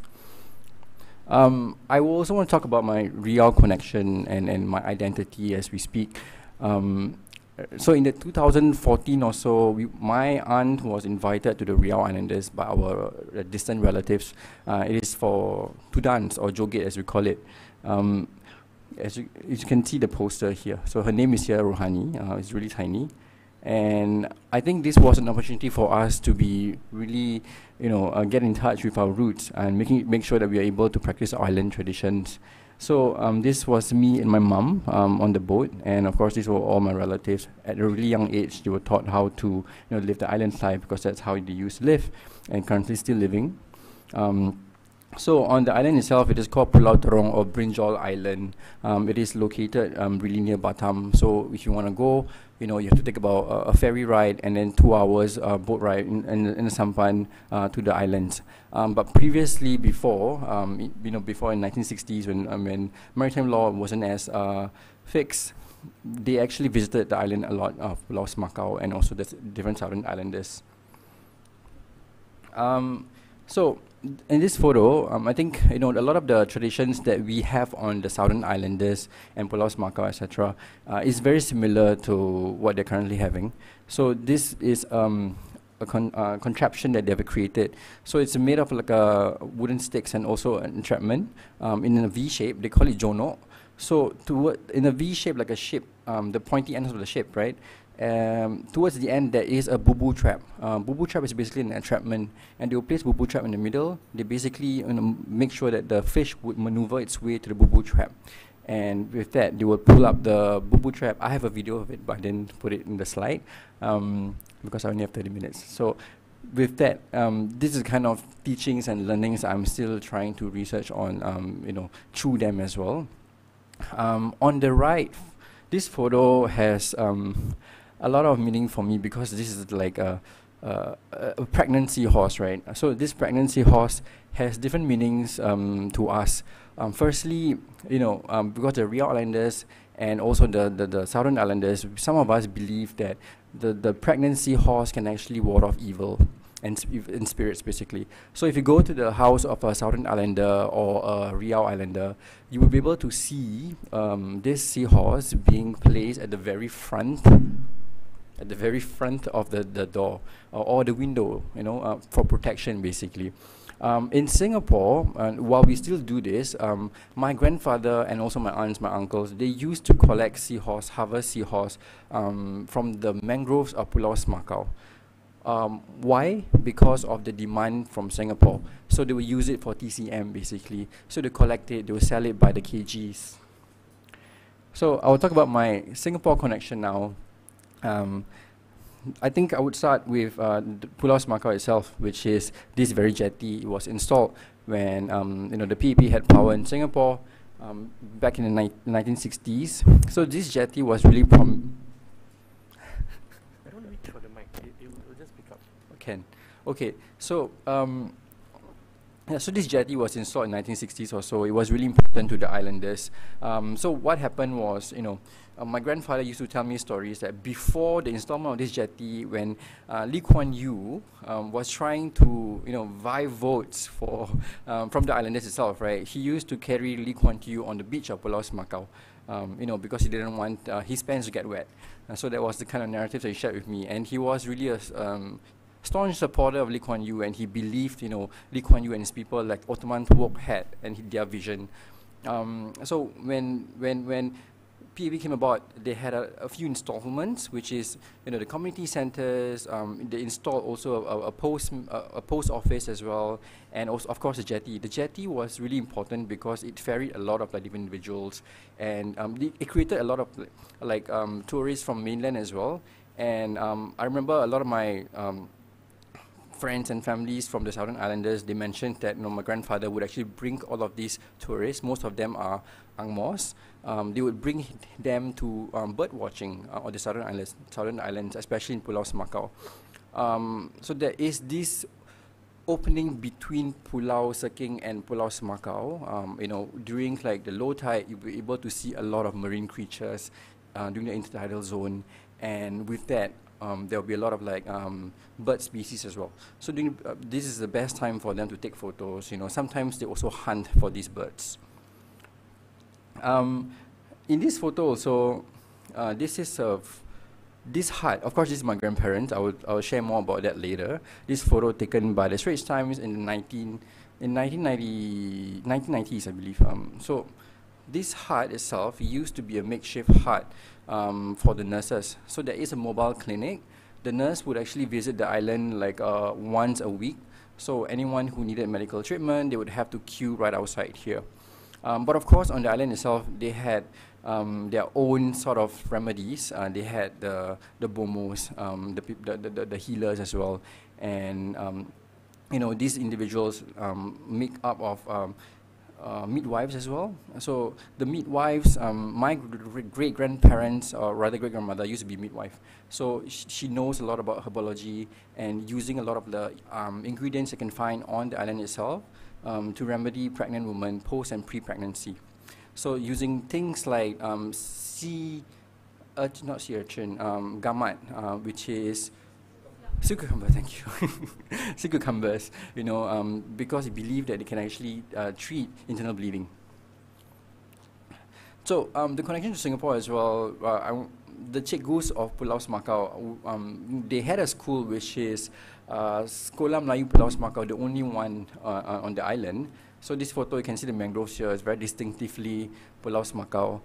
And um, these teachers, they used to live in uh, the areas of Geylang. Uh, um, they would actually bring the students back to mainland Singapore to visit museums, etc. So they actually grew this connection with the islanders as well. Um, for example, my grandfather would actually uh, be, be so close to one of them, uh, and he knows when he's teaching, he would bring um, lato or sea grapes to be given to the, one of the teachers. Um, so lato could be mixed with um, coconut shavings, uh, sambal, etc., and they would have it as a snack during tea time. So, and and um, I think in terms of hierarchy as well, they were really well respected because they're educators, you know, uh, they are looked upon. And um, also on this jetty setting, um, they didn't have water on the island. Um, they relied on wells. Um, they had the Perigi, which is about 10 minutes away from the mainland. Um, I, I, I had the opportunity to actually visit the Perigi. Um, wasn't in a tip-top condition back then, but they used a lot of like, you know, uh, rainwater for, for the Perigi. And these for these little little plastic containers here, these are actually waters. They use it communally. Um, I think they were the only water supply was actually in Pulau Bukom, which is you can see Pulau Bukom right here actually. Um, Pulau Bukom, of course, it was you know reclaimed as a petrochemical space, and with that there are a few infrastructure that's in place. One of it is actually water and electricity. And um, so these are my grandparents. I think um, through through them, I was able to learn a lot from them about you know island culture, um, what they used to do, and what kind of life they used to live. Um, in the 1977, when they were asked to leave, um, my grandparents were a little bit defiant. They said, you know, I, I don't want to go back to mainland Singapore, even though you know they, they actually rented a space. Um, they wanted to go back to the island because my grandfather uh, firmly believed that the city's air wasn't for him. Um, this is Rani bin Omar, which is my grandfather, uh, also known as uh, Tok Kanik or Wak Kanik, and this is Nenek Nina, uh, my grandmother. Uh, my grandfather passed away a few years ago, so um, sadly, a lot of his you know teachings I, I couldn't record um, at this uh, point. Um, but thankfully, because of this exposure to island life, I was taught a lot of things such as uh, fishing, foraging, and the community. And um, growing up, you know, I was born in 1988 and I visited the island since I was two years old. Um, and I think the fishing, the fishing uh, process wasn't only about you know catching a fish, but also looking into the techniques, understanding the tides, making sure that we're able to respect the space. Same as foraging, um, you know, utilizing the, the, the, the, your six senses and looking into the space itself and give it ample respect. Um, and I think also I was exposed to a really closely knitted community. I think the Orang Pulaus, um, they, they really know who are the different individuals um, who owns the boat. You know, from afar, um, we be like, "Hey, boat siapa tu? Like, whose boat is that?" And they say, "Oh, that, you know, it belongs to different islanders, etc." And they would like say hi. They would uh, sometimes swap fish, etc. So that was a kind of like closely knitted um, community that they had. And I got a lot of, of questions about the process of relocation, so I think um, has shared a little bit on that, so I will also um, tap on that. I think the process of relocation for us, um, we were given a notice in 1974. So in the year 1974, you know, the um, JTC uh, came to the island and gave us um, a notice to say that you know, these are a few options you can actually choose to move to mainland Singapore. So one of which is actually West Coast, Telok Blangah, um, Henderson, Bukit Merah, and Taman Jurong. And my grandparents um, actually chose West uh, Telok Blangah because they wanted to be closer to the water, and also a lot of the um, islanders as well came closer together and chose to be uh, near each other. Uh, so I think you know Telok Blangah was one of the chosen locations, um, and because of that, um, that was where I grew up, and a lot of like closely knitted communities grew up there through hardships, you know, understanding um, the new life they were they were asked, they were given basically.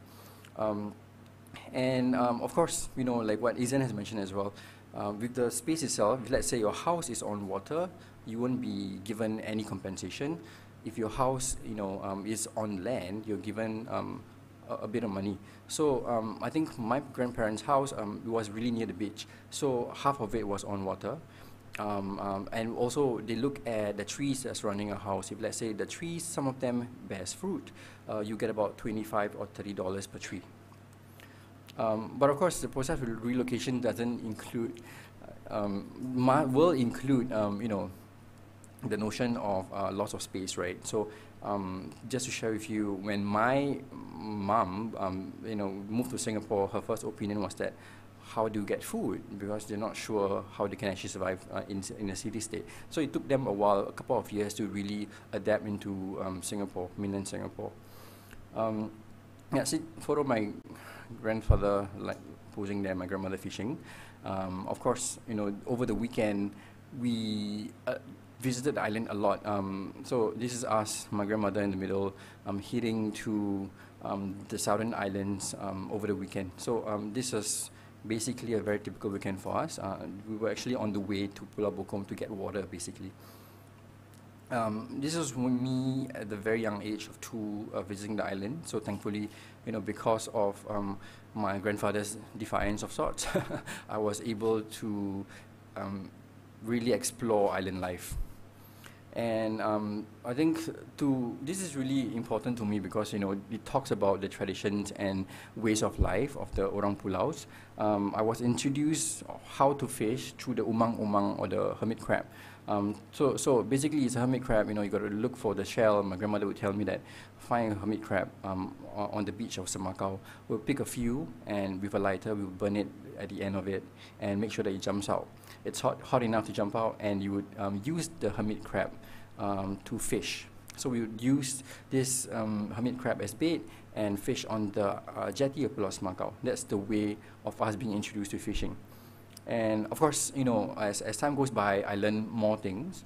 And um, I think this, some of these things are still being uh, done today as well. Um, I'll share more on that later. Um, but I, I was touch on tangkap ketam, um, basically catching of crabs. How do you do that? Um, it's also understanding the different entrapments, um, what needs to be used, and what type of species you want to catch, right? For example, ketam bunga or ketam bangkang, which is the flower crabs versus the mud crabs. Where do you need to place your bait? Um, what kind of entrapments you need to use? Um, the, my favorite is basically cari siput or looking for clams, right? This is basically foraging. And what we will do is we will go to our specific spot, which is a Pulau Hantu. Um, even now, there's a lot of clams there. Um, there's uh, tangkap sotong. This one requires, you know, the an individual to actually go out at sea in the middle of the night because that's where um, the, the, the, the, squids would actually uh, rise to the water. So um, we go out sea using like an oil lamp um, so with the oil lamp, you know, we place it by the side of the boat, and um, the sotong will emerge itself, and we just scoop it with a net. And mancing toka. Um, so mancing toka, it's um, it's not exactly it, the, the the direct translation of toka is parrotfish, but it's not only parrotfish that we fish for. It's basically coral fishes. So um, mancing toka would require you to you know park your boat, dock your boat um, really near to coral reefs at the end of it, uh, where all the fishes are. La. And uh, of course, um, mancing laut, which is deep sea fishing, um, this one you require a little bit more about you know in-depth knowledge of the sea. Uh, where is your lobok? Um, lobok means where the fish is situated, etc. And also looking into the currents. So looking at the wind um, currents and and also whether or not the weather permits lah. So a lot of times when I go out fishing, it's always about intuition. um, I think the orang pulau are people that I know of. They are very intuitive in terms of like where they should go and whether or not this space could grant them the, the, the kind of uh, fish that they want. You know, it's always very intuitive and, and very respectful of the way they, they, they, they do things. And of course, Bekarang. So what is Bekarang? Um, Bekarang comes the word coral, um, and this is the act of foraging or intertidal zones. So, you know, this is very seasonal, right? Because, you know, you need to have really, really low tides. Um, sometimes monsoon season, no low tides at all, so you cannot uh, do foraging. Um, most of the time, you have to forage in the middle of the sea, so you got to wait, you know, at a really good time. Actually, March is really great, great time to actually bekarang. Um, so we would find something like the siput rangap or the spider conch. Uh, this is, you know, really delicious. What we need to do is just boil it with seawater and eat it as it is. Um, what we love is actually the raw. It's orangey in color, really sweet and delicious. Um, but of course, you can cook it in other ways like sambal, etc. Um, yeah, photo of my grandmother eating. I think they were eating sea cucumbers, I believe. Um, yeah, so I wanted to also bring you guys into this space that I was granted to. Um, you know, looking into foraging, right, it was a really special time for me because you're able to be exposed to a space where no one else exists, and then looking into you know just new nature and the space as well. And what your grandmother would tell you is that to be really aware of the surroundings, um, to be respectful, um, because there are things that are known, right? It could be in the spiritual sense. Um, at the same time, also looking into sea creatures such as the um, stonefish. You need, you cannot step on it. If not, you get poisoned, and you know that that goes in a problem altogether. Um, I, I, also want to touch on like the very significant um, types of seafood that we eat, um, which is the pufferfish. So pufferfish, you know, is widely known as a fugu. The Japanese eat it, um, but actually it's not only the southern islanders, um, but it's actually throughout the Nusantara. If you look into, you know, um, Sabah as well, they do eat pufferfish, um, and we know how to depoison the pufferfish. So the, the depoisoning of pufferfish takes a lot of effort um, to catch one is actually very difficult because you have to get a boo-boo trap um, and you need to find a, a, very skillful man to place it at the right location and with ample experience. And they will do you know free diving um, make sure that they have the boo-boo trap um, go into underwater and place it place a few rocks make sure it doesn't move etc so all of that during free diving, diving. And that's how you get a pufferfish with about two weeks or so. And I'll show you a little bit of images I have, um, just a little bit warning, it's a little bit graphic. Um, so these are the intestines, gills, and liver that we consume, um, minus the skin. Um, side note, the skin was actually used um, by my uncles and aunts, right, as a drum. So they would actually stretch it out, oil it really nicely, and when they were younger, they would actually use it as a drum, uh, as a, not a musical instrument like like a play toy. Uh, plaything basically. So um, what we would do is we will, you know, cut up the ikan buntal, a pufferfish, and we would take the innards, which is the intestines here. But the intestines doesn't look like this. This is basically braided. Um, why is braided? Uh, because we do when we boil it, when we double boil it, we don't want it to break. So there is a technique to actually braid it. um, and the intestine is really, really long. So the gills are cleaned off, and also what makes the dish is actually the liver. Uh, the liver is known to be really fatty, but we actually use it as the base for the dish. Yeah, and of course the depoisoning part, um, there is one particular location whereby you need to cut off that part, um, or you could look out for really tiny transparent bits of poison. And of course with the poison parts, um, there are the pantang larangs that comes with it, you know. Um, you cannot um, eat it at a certain time, um, you know, when you eat it you cannot drink coffee or you cannot eat certain fruits, etc. Um, you might die. So it comes with all of these rules lah. Yeah, so it will look something like this. Um, we call it the karabu because there's a lot of drying involved. Um, and it comes with like uh, kangkong as well. You can't see the kangkong is hidden in the dish.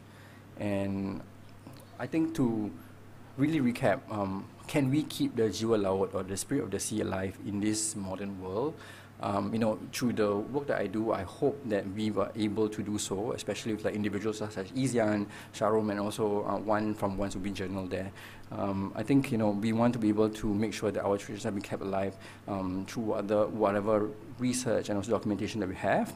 Um, so I think cultural preservation is really important. Um, we want to be able to, we should acknowledge that there are impacted communities um, because of this location no displacement, not dislocation, because of displacement, right? Um, we need to acknowledge that um, and how are they being impacted. And we need to recognize, document, and share a lot of our lost narratives and, and to be included into Singapore's narrative as well. And um, we need to support ground out initiatives in the community, uh, making sure that you know the, these voices are being heard and uh, recognize the sea as a living space to practice our island traditions. Um, with that said, you know, we need to also understand the needs of the indigenous voices, um, meaning, you know, if let's say these specific uh, rules may affect them, for example, you know, um, we need to hear them out, uh, make sure that their traditions are still being kept alive or can be kept alive.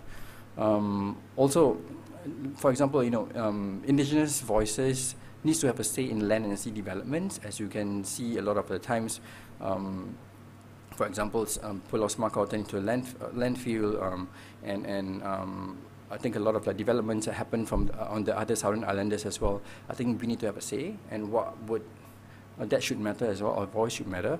And um, we need to include oral narratives as part of formal education because these narratives are really important. Um, making sure that the Orang Pulau stories are being kept alive, like what Jamal has mentioned, that is a little bit under research. Um, I think it's great that, you know, lastly, if you could build an avenue for more communities to share their narratives and bringing forth a lot of different individuals, younger individuals to share their connections, um, you know, acknowledging that uh, the Orang Laut or Orang Pulau roots are, you know, part of Singapore's narrative and um, I think Jamal has, sorry, not Jamal, Sharam has uh, briefly mentioned that the kind of stigma that they face for the Orang Pulau communities when they first moved to Singapore, you know, they are lesser, they are backward, you know, barbarians in your own words. so I think um, these kind of things we need to change narrative a little bit and we need to take pride on uh, our history and where we come from. Yeah, with that note, um, if you like our sharing, um, please follow Orang Laut SG. This is basically the page I manage, um, but of course they do have um, individual works on their own. Um, you may reach out to them individually as well. And thank you. Sure. Okay. Um, thank you, Firdaus. Can I invite all the speakers to join me on stage for the Q and A? Okay, like not really a stage, lah. Okay, thank you guys for staying. Um, I, I hope you got comfortable enough and you enjoyed the sharing. Um, I'll just summarize a bit before we go on to the Q&A.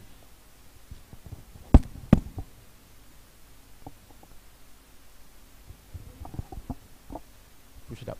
Um, okay, so this is the QR code again. If you have any questions, uh, do scan it uh, and drop your questions on the Spotify platform and I'll read it to our speakers today.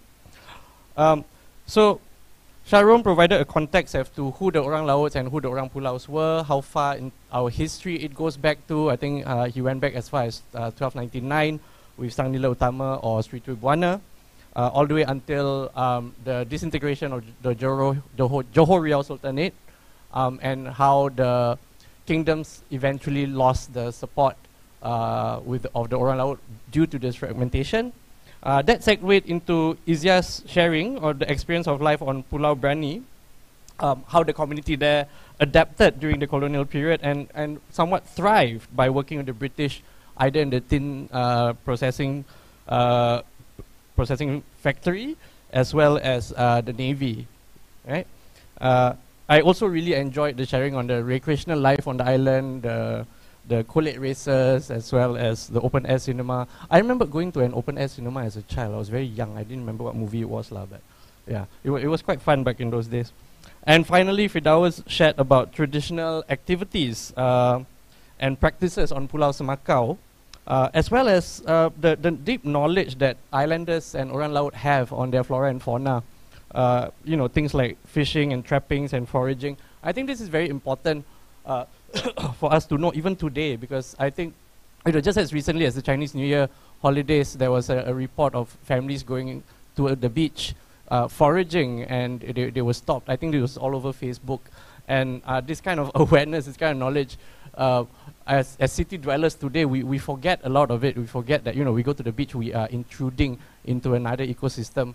When we take a fish out of water we, we are affecting that particular ecosystem. So uh, I think that those kinds of knowledge are very important for us to be reminded of. So I'm very happy that you, you mentioned that as well. Um, so let's go jump straight into the questions. Oh, got quite a lot already. um, okay, first question. I think uh, all, all three of you can, can choose to answer this. Would relocation be much more difficult for orang pulau or orang laut if it happened now? Do any of them still harbor regrets or are happy they moved at that time uh, versus now? So I, th- I think maybe imagine if we had to move now, lah, if we're islanders now, you know, what, what would the reactions be? Any, any takers? Izian? Hello? Okay. Um, so on Pulau Brani, right, there were no vehicles. Oh, there were maybe, the British had them, um, but the islanders didn't really have any vehicles. So you walk from one end to another end, or you took a sampan from one kampong to another kampong. So imagine you go to mainland, just trying to adapt to uh, private hire cars, taxis, buses, just the MRT itself and the height of the tunnel. Um, I think it would be really, really scary. Um, the fact that you can't just throw a line out and fish for whatever fish there is there, but you had to go to the market and now fish is so expensive, right? If you imagine all this, if if my family were to move to the mainland now, I think we would really be set back by the high cost of living um, also the adapting to the the different different ways uh, HDB formations um, how you have to go to a supermarket and there was there's no pasar malam very rare now um, and cinemas are enclosed spaces. There's no freedom. Essentially you are giving up that freedom the air of freedom for the enclosed space that now you call you would call home. Anybody else no, I think I totally agree. Uh, you know, looking into the cost of living um, is one thing, but also um, to me, it's not only that, but also the loss of tradition. Um, when you lose a space, we lose so many things. Um, looking into you know the livelihoods that they, they have, um, it's very uh, closely related to the sea. So once we lose a land, uh, sorry, can you hear me? When you lose um, land space, you lose a lot of the traditions, and um, you know we are not able to practice our land traditions. So as um, a very good depiction of, of how it looks like right now is actually West Coast Park or how it used to be called Pasir Panjang. You know, West Coast Park, there's only one little slither of sand left, uh, the original beach, and is dedicated to the Orang Pulau, so are still going out to sea actively. So there is a visual representation of uh, the islanders, which I think is a little bit sad. Uh, if you could have the islands back, that would be fantastic. Um, but you know, we need to be able to make sure that these island traditions are being kept alive. So um, to answer your question, I'll be miserable uh, if we would be asked to come back to Singapore when at this stage and with this knowledge, right, um, we need to be able to fight for whatever traditions we have left, basically. Th- th- thank you. Um, actually, you don't have to live on an island. Uh. My, my grandmother lived in, in several kampongs throughout Singapore. They relocated a few times, and the last kampong was Changi Wing Long. So when she moved to a flat, you know, till the day she died, she still cannot climb an escalator. You know, she never got used to lifts. So we, she always lived on the second floor, third floor. Um, yeah, so, and another example I could think of is um, a friend of mine stayed overseas for a couple of years, came back, took the train, don't know how to buy the, the card. Yeah, so imagine living on an island where you don't have any of these facilities and suddenly you're, you're bombarded by everything that is facilities. You know, it, it must be very scary. Yeah. Okay, moving on. This one a bit, wow, this one a bit heavy. Yeah? In determining the identity of the Malays or Malayness, what are some determinants for orang laut? Perhaps aspects of language, religion, social culture, and so on. Um, I think you, you mentioned something about the difference between an orang laut and uh, orang Melayu. Mm. Right? So Did- the question is, how do you determine the identity? Yeah, what's the uh, other determinants? Really, the main difference is the the lifestyle, the uh, and how the the suku-suku orang laut go about their livelihood. Uh, that that really intimate knowledge of the sea uh, and being dependent on the sea. Uh, and there's a whole uh, belief system that that, that actually uh, centers around the sea. So, so I would say that's the main uh, difference. ah. Uh, and uh, of course, there's linguistic differences as well, uh, where definitely uh, in the past, like even Munshi Abdullah, when, uh, in his in his uh, book, right, he was talking about uh, the Orang Laut has a different language, uh, which is slightly different. Uh, even among the Orang Laut, so for example, the Orang Seletar and the Orang Kalang, Orang Gelam uh, had slightly different dialects uh, according to the suku. lah. So there will be differences, and, and it's obvious enough for the Malays and the Orang Lauts to kind of differentiate themselves. Yeah, I, I think so. Anybody else anything to add? Yeah, okay. I think Asnida, if she was here, she would have shared that, uh, you know, when she did the performance as part of Writers Fest, Asnida Daud, uh, she did this performance where she used Orang, I, the island's dialect uh, in her performance, which was actually some of the words I've never heard before. La. So, Yeah. I think it's completely alien to me if I went to. And that sing-song uh, kind yeah. of- yeah, so it- the, the, the tonations as well are very, very different from different uh, islanders. Okay. Hmm. Do most of the Brani Islanders know how to swim at the time? I, I think so. right? Yes, for Telok Saga and Selat Sengkeh. I think everyone roughly knew because you were always so close to the water. Um, yeah, I would say yes. Um, even there are some people like from the mainland who would come to learn, you know, from their friends who are from in living in Brani. Um, the but they were still afraid of the water, okay, no doubt, because of the waves and, and the storms. Um, so like imagine taking a sampan from Singapore from Pulau Brani to Singapore, sometimes the water is quite strong, the currents are quite strong. So they will also be very scared if you're a school kid with your textbooks and all that. So I've heard the stories of um, them falling into the water, their books all got wet, and then that's a legit excuse to tell your teachers that when you enter the mainland. Yeah, and then also like for, for Selat Sengkeh and Telok Saga, if you actually run the along the planks, then you miss your step and you fall down. Um, so uh, interestingly enough, one of the games that the kids actually like to play um, is when the British people came for holidays over the weekends or any any holidays, they would throw money into the water and then the kids would be so happy they would they would dive down and pick up the coins and say, oh sir sir I have 20 cent or 50 cent, then they get to keep it. Yeah, so I think the sea, if you don't know how to swim, then it's a bit quite sad. yeah, thank you. Um, okay, next question.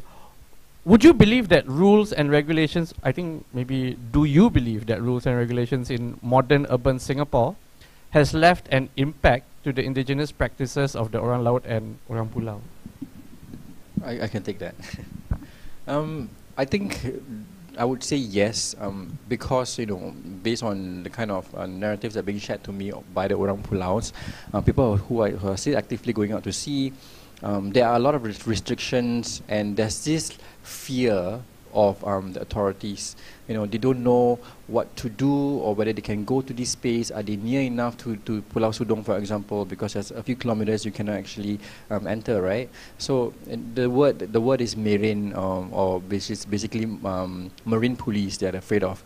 Um, I think there's this fear that they don't want to, you know, go against the government. So, but they, at the same time, they still want to, you know, keep up the island traditions, right? They, they do what they do best. Um, I would say yes, and of course, you know, looking into foraging, um, like what Jamal has mentioned recently, um, if let's say a lot of these activities are still happening in, in Changi Beach or any beaches in Singapore, um, I think the authorities have to step in to say that, hey, we need to protect the wildlife and uh, we need to maybe introduce a white state ban. And that is problematic to us because this uh, it makes up our tradition, right? I think foraging is important, um, not only to the Southern Islanders, but also to mainland Singaporeans, mainland Malays who used to live by um, the water in Singapore as well. Yeah, go ahead. I'm just going to chip in with um, experiences from uh, the Orang Seletar uh, in the northern coast of Singapore. So um, the Orang Seletar were originally on both sides of the straits, right, on, on the coast of Johor as well as on Singapore. Um, but uh, somewhere in the 80s, they started to pretty much move more towards the Johor side, um, having allegiance to, to the Johor King. Uh, and at first, they were still able to forage on Singapore's northern shores. For example, for crab at Sungai Buloh, uh, they even catch uh, crocodile and and, uh, and and have them for satay, that kind of stuff. Um, but um, increasingly, especially after Mas Selamat, uh, the borders hardened uh, in the sense that a lot more patrols. You even have uh, barriers set up uh, at sea. So this really kind of limits the range where they can uh, earn their livelihood. Uh, and then I, I go to to uh, the sharing just now by Firdaus talking about his connections to to Riau to to essentially this place is broken up into three separate spheres. Right, there's Singapore, which is the smallest. So right now, even the orang laut want to go out also, like you said, like there's a lot of restrictions. You can't go here, you can't go there, you can't go near Bukom, 100 meters from Bukom, that sort of stuff. But in the past, it was so much more free. Uh, going for Jogate at Riau, you know, and uh, and you, you hear stories of this, of this free uh, lifestyle. so so really, definitely, there's there's this impact of restriction. lah. Yeah. I think it's obvious that there's impact because there's no more orang lauts um, in Singapore, like who who really practice the traditional way of life. Uh, obviously, they're gone. They're completely gone. Even the islanders are gone. Uh, our islands are landfills, oil refineries, live firing areas. So yeah, um, Tekong is a military camp. A- and Uh, Pulau so yeah. Is going to be another fun fair. Oh yay! Yeah. Another Sentosa. Yeah. Looking forward to that. Uh, they're, they're emptying out the the police coast guard from that Yeah, area. so the Brani terminal will move to Tuas, the police coast guard will move out, and then there's a Sentosa Brani development in Oh plan. dear. Yeah. Okay. An- so there'll be another- like Gardens by the Bay, if I'm not wrong, and then there's going to be another theme park there. Ah, okay. All right, we'll we'll see. Um, okay, this one is quite quite a tough one. What are the challenges in researching and documenting the legacies of orang laut and orang pulau that the generations are dying out? Yeah, so this is directly linked to what you guys are doing, right? Yeah. Can I go first? My biggest challenge is the orang laut themselves didn't write down stuff because somehow uh, writing wasn't a big thing. So I always say I don't want to get my books wet on my kajang, right? So there's very little time to write, and there's really no no records by orang laut themselves. So we have to depend on other uh, other sources, the Bugis, the, the orang Siak, orang Melayu, and of course the Europeans. Um, so, uh, so when we approach uh, these sources, of course they have their biases, uh, uh, and then we have to to kind of um, look at also our oral traditions and and and remember the stories that were passed down. Um, so yeah, so increasingly these these oral traditions is, is getting lost. lah. So I think to me that's the, the biggest challenge I face. Yeah. I think oral traditions also have its biasness. Um, so you could tell me a story about your time on the Masak Timah area, but someone else can tell me the story about the same area, but it's differing. So who do you believe in? Who do you actually um, adapt from? Who, who- do you actually listen to, right? Uh, so when we were doing the Memories of Pulau Brani project, right, um, it was really hard to actually make sure that these people were good representations of their village or a certain activity that we wanted to know about.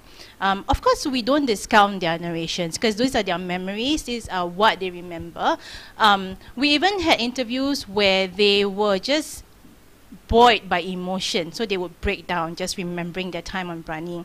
Um, and then you would actually have two hour recordings with someone, and then you replay and you go like, was it really true? And Then you start asking other people. So for myself, um, my family, my mom and my grandparents, they were not really true narrators. They didn't really have much stories to tell. So I had to go further out and just do a call out for information, for stories, for, for just any memory. Um, so these islanders, like I would say, like some of the pul- orang laut, orang orang pulau, they they don't value the idea of their history until it's too late. I feel sometimes. Then we start struggling, and like our generation says, "Can you please tell me more about this? Tell me more about that?" And we just scurry to find all this information, and that becomes our uh, our, our oral history. Yeah, and whether it's um, really true, like for example, when you go out to sea, you would actually, um, if there's a monsoon, you put a naked person out there because the the lady of the the sea spirit is a lady, and then the naked man will appease the sea spirit. How true is that? We don't know, right? Yeah, but that's what I heard. Yeah. Yeah, I think uh, really I agree with the sentiments. Um, history has always been written for us and not by us. I think that is you know the very core of it. And my personal challenge is making sure they're able to just share. Um, I think we really do not take into consideration, right, the trauma that they feel, you know, like they're crying, etc. They have to relieve this trauma and to share all these narratives because um, displacement is not an easy topic, right? You need to talk about your past and how you felt, and, and and also looking into like you know what kind of like memories you are you have left and what you were taught. And it's not only about you know oral history; it's also about beliefs that makes up a culture and tradition, your spiritual beliefs, and who are the protectors of the space. You know, this makes up um, every part of your tradition, which I think is really important. So I need to really approach the topic very sensibly. Like I need to tell them, hey, I need you to share with me the mantra that you know. I can't just approach it like me a mantra, right? You know, you have to really build rapport and make sure that they believe you. And this is basically just for documentation. And of course, a lot of them want this kind of knowledge to die with them because um, there's also the social stigma uh, between um, the Malays of today and the Orang Pulaus then um, because of the overlap in religion, right? Um, whatever they, they know then, um, a lot of uh, island beliefs are perceived to be very un-Islamic in today's sense. So they, they really suppress that part of that, you know, their ident- identity, right? Not only them being Orang Pulau, but also their, their whatever they were taught by their grandparents, etc., um, which I think is really important. It makes our religion. So um, religion has a part to play in, in, you know, in all of this, and we need to be able to factor that in. lah. I think um, thank you for your answers. I think from the museum from the museum side, it's it's also objects. Um, how what objects do we identify that belong to Orang Pulau and Orang Orang Laut, and how do we present them? You see, and because if if those if the sites no longer exist, how can we find uh, materials from those sites? Uh, so that is another challenge. So you know we, we have to look at either overseas loans or re- refa- refabricate things. You know by that time it's it's not authentic already lah. So that's another level of challenge. Um, Plus okay. a lot of the stuff are biodegradable. lah. Orang Yes, yes, yes. Very eco-friendly. Very, yeah. Yeah. Okay. Um, I'd just like to ask. We're we're ru- overrunning a bit. There's still quite a lot of questions. You guys okay to stay a bit longer? Okay. Ah. All right. Cool. Um, this one very fun. Uh, are there any myths or cerita hantu ghost stories that are specific to Orang Laut and or Orang Pulau that are distinct from that of Orang Melayu? You got your own version of Pontianak? or not? They're just Pontianak. Just yeah. Any any ghost stories or? I mean, there's many lah, but Yeah. I don't know. You guys want to share first, or I can go? um, I think it's also very island specific, right, or space specific. Um, just particularly in Pulau Semakau, um, they always believe that it's protector. Actually, the Tanjung Romo, Tanjung Pengalai, and Kampong Tengah, there are three different protectors, three different beings. At the back of the mangrove, right, there is this lone crocodile. Um, they believe the crocodile is not a crocodile, but it's also also like you know a being that takes up the shape of a crocodile that protects a space. You know, do not disturb it; it doesn't disturb you. Things like that, right? And also, of course, you know, there's a collective narrative that are being shared, like the Bunians and the Orang Bunians, which I think is very common in Malay folklore. Um, you know, during uh, I think for the islanders, right, they believe that this specific place that you could actually go to to offer the bunian something in um, to get something in return. Um, it is very um, distinct when it comes to weddings. So they will give offerings, and um, for weddings, they would actually um, with the offerings that they give, right? Do in return, they will get um, very nice uh, plates, you know, for the weddings, lah. Um, but of course, when you want to return to them, um, you cannot break any of that. You cannot lie to them. You must make sure that you appease them uh, or, um, really, really well. Um, so these are kind of stories that we we hear from different individuals of different bu- um, bunian encounters. Sorry, when you hold a wedding, you get your plates from the Orang Bunian. Yeah, that was what I, I was told. This Is, narrative. thi- is this rental or how? Uh, Is rental that, is is that a rental. form of payment? If, yeah, there's a problem is the pengeras lah. You know, there's some Ah, okay. rituals with it, and there's only a specific few can actually go and collect it. Um, not everyone can actually just go to the bunian. Um, and and yeah, so there's this connection with the other world that they had, you know. Um, and also, if let's say you, in a way, offend them, the plates will break altogether at once, you know, into half. That's how you. That's how they know that the bunians are mad, and you got to appease them furthermore. Yeah. Okay.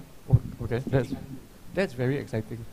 Yeah. I don't think we have like the equivalent of all. A lot of it is like the spirits that guard the various waterways. Oh, okay. So And s- uh, so appeasing sea- these spirits. sea guardians and Sea guardians. Yeah, yeah, okay. Penjaga. Okay. Oh, but there was a penebok on Pulau Brani. Uh, What's a penebok? Uh, a monster, Okay. a hantu monster. So it's a story that the adults would tell their kids so that they won't hang out too late. Um, so it's like I, I believe it's when you walk from Selat Sengkeh to Teluk Saga, you will pass by like certain very quiet areas, marsh, uh, I mean um, forested areas, and then they will always the kids would challenge themselves to run through because they'll be scared because the the parents will say later the penobok come and take you. Yeah, so that's the only thing I know. Okay lah. I mean, in in in Malay uh, cosmology, it's, it's always fascinating that a lot of the ghosts are, you know, warnings to not do something stupid. Right, pretty much. Uh, okay, how are the gender roles uh, in Orang Laut community like? Uh, is it equal gender roles or the different genders have the dif- different functions perhaps? I, I think because just earlier I, I mentioned that um, orang laut women are also equally adept at, at, fishing, at, at even piloting the boats. Uh, so um, in traditional orang laut society, it's pretty egalitarian because well, if your husband is sleeping, you better still know how to kayuh your boat, lah. You, you uh, so it's it's and and uh, lineage is is not through the father. Uh, quite often it's through the mother as well. Um, uh, passing of possession, right? The warisan, what you get after the death, uh, is also through the daughters as well. So it's not just a, a it's, it's, a lot more egalitarian than most uh, Malay societies. for example. Yeah. So that's what that's what I know. Yeah, I, I totally agree with you. I, I always believe that you know the women are the backbone of the family because they know whatever the males can do, they can actually do the same or even better. And at the same time, they cook. They make sure that the household being kept alive, right? Um, so a lot of the traditions are being passed down through my mother, um, and and I don't know whatever she knows. Um, it, she learned directly from my grandfather as well. And of course, she, because she also um, takes care of the household because her being um, one of the older women in a family of you know 12 um, and I think my grandmother also when I remember very vividly our boat when, when, um, it was actually broken down the engine was broken down she basically kayuh or row all the way back to Pasir Panjang and it took her one hour um, just rowing and rowing and rowing and so that's a kind of like image I had about you know the Orang Pulau community the women Orang Pulau community they are really strong Okay. Um, well, I think we'll go down to the last two questions. The next question, I'm going to combine it actually. Would the different Orang Pulaus visit each other on their islands? Uh, what was the relationship like between the different islanders? And uh, would the cultures of the northern islands, such as Ubin and Tekong, be similar or different to those of the, sou- the southern islands? I'll take the one on the Ubin and the Congress. Okay, I'll- I, I think I will take one on the first one. Okay. I think um, the kind of relationship that we have with Southern Islands, definitely it's a very communal space, right? The sea is a communal space. Um, we would visit each other. There are intermarriages between different islands, you know, oh kita orang Seking kahwin dengan orang Semakau, you know, or um, orang Sudong kahwin dengan orang Singapura, etc. So there's always inter intermarriages, and and they would shift. Uh, s- do you call it suku? But I think uh, pulaus lah. They shift pulaus, you know, um, and also because of like uh, displacement, right? Bukom were the first to be displaced, and a lot of them actually moved to the different islands. For example, Pulau Semakau um, and, and Pulau Seking. And of course, the Riau Islanders would actually come visit us really often um, when you know the maritime laws were not in place. Um, Riau, because it's really a big communal space, they would come, you know, harbor gifts um, coming from you know a, a few kilometers away, and um, in return we would give them baguettes, for example, um, because they cannot find bread on on the, the, the islands in Riau. So things like that were actually very apparent back then. Um, yeah, like what Firdaus said, there was marriages between the islands. So um, also for cemeteries, um, so for Branians, some of them were actually um, buried in Sentosa. Yeah. Um, and then also for schools, there are some other islands who actually islanders who actually came to school in um, Pulau Brani. Uh, in terms of um, the war, right? So you had the option to actually run away. So there are some people that I know who actually took the boat back to like Moro Island, um, any any of the Riau Islands to to stay. Yeah. Uh, so Ubin and I was just going to really if you speak to even the Orang Seletar now, uh, they still visit Riau Islands, uh, attend weddings, uh, funerals. So there's there's still connections uh, between the, at least the Orang Seletar uh, and and the Riau Island archipelago. Yeah, so definitely. What, what, what about the, the culture between the southern islands and the northern islands? So Tekong, Ubin versus Brani, for example. Would it be similar kind of lifestyle, similar kind of tradition? As far as I know, the Tekong and Ubin are in the domain of the Orang Seletar, but of course there there will be other settlers uh, coming in as well. Uh, so the Orang Seletar, principally the Orang Seletar, right? Their kerahan is to defend the old town, the old capital of Johor, which is Kota Tinggi. Lah. So if you can just imagine the map of uh, Singapore, right, and then you have Ubin and Tekong, uh, and and it's it's just at the mouth of the Johor River, so that was really a strategic location for the Orang Seletar, and then whoever came by uh, after that as a kind of a defense force for for Kota Tinggi, uh, they had uh, slightly like I mentioned earlier, they have a slightly different language, uh, the Orang Seletar compared to the Southern Islanders, but that did not uh, stop them from uh, going over intermarrying. Uh, but of course, in the past, uh, you had to wait. Uh, you had to wait for the monsoons to to be favorable, even to to come down to the Southern Islands. Either that, or you have to walk through Singapore, which they, they don't like. lah. Okay. Yeah. Uh, okay, last question. This one is uh, there's some interest in um, the publications. So, first question is for Izian. Where can I buy the book on Brani Memories of an Island? Second question is for Firdaus. Will there a book be a book on Pulau Semakau compiling pictures and narratives from the islanders coming soon? Very easy, yes. I'm Okay. working on it. okay. is Izian, your book how? It's currently out of stock. Um, I will talk to NLB about it, no promises. Um, I would like to invite you to like the Memories of Pulau Brani Facebook page. Just search Memories of Pulau Brani. You can converse with the islanders. They're very vocal on the Facebook page. Um, I can also send you the PDF copy if you're willing to accept that version.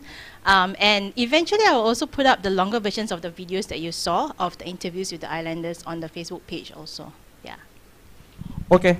Um, I've, we've taken 15 minutes longer, uh, but thank you so much for your sharing and thank you everyone for your interest and your question. I, I'm sorry that we cannot go through all of them. It'll probably take until 5. There, there were still questions coming in. Uh, so thank you for your questions. I uh, apologize again. Um, anyway, you're in the gallery now. There's actually a gallery on Kehidupan Laut. If you've not been here before, do check it out. There's some objects related to maritime life as well as uh, some artifacts uh, related to the Orang Pulau and Orang Laut and photos as well. Uh, while you're here, if you have time, please do check out a special exhibition Cerita. Uh, it's going to be running until July 31st. But before you go, um, this is, is this it? Oh no. Yeah, this is a feedback QR code. So do give us your feedback. Your feedback is very important to us to make sure that we can continue doing what we're doing, telling us whether we're doing a good job, where we can improve, etc. And um, yeah, so we look forward to having you here again. Uh, do join us on our Facebook or on our Instagram to know our upcoming programs. Uh, we have a whole array of programs coming up for you in, rela- in relation to Charita Special Exhibition. And have a good weekend. Thank you very much.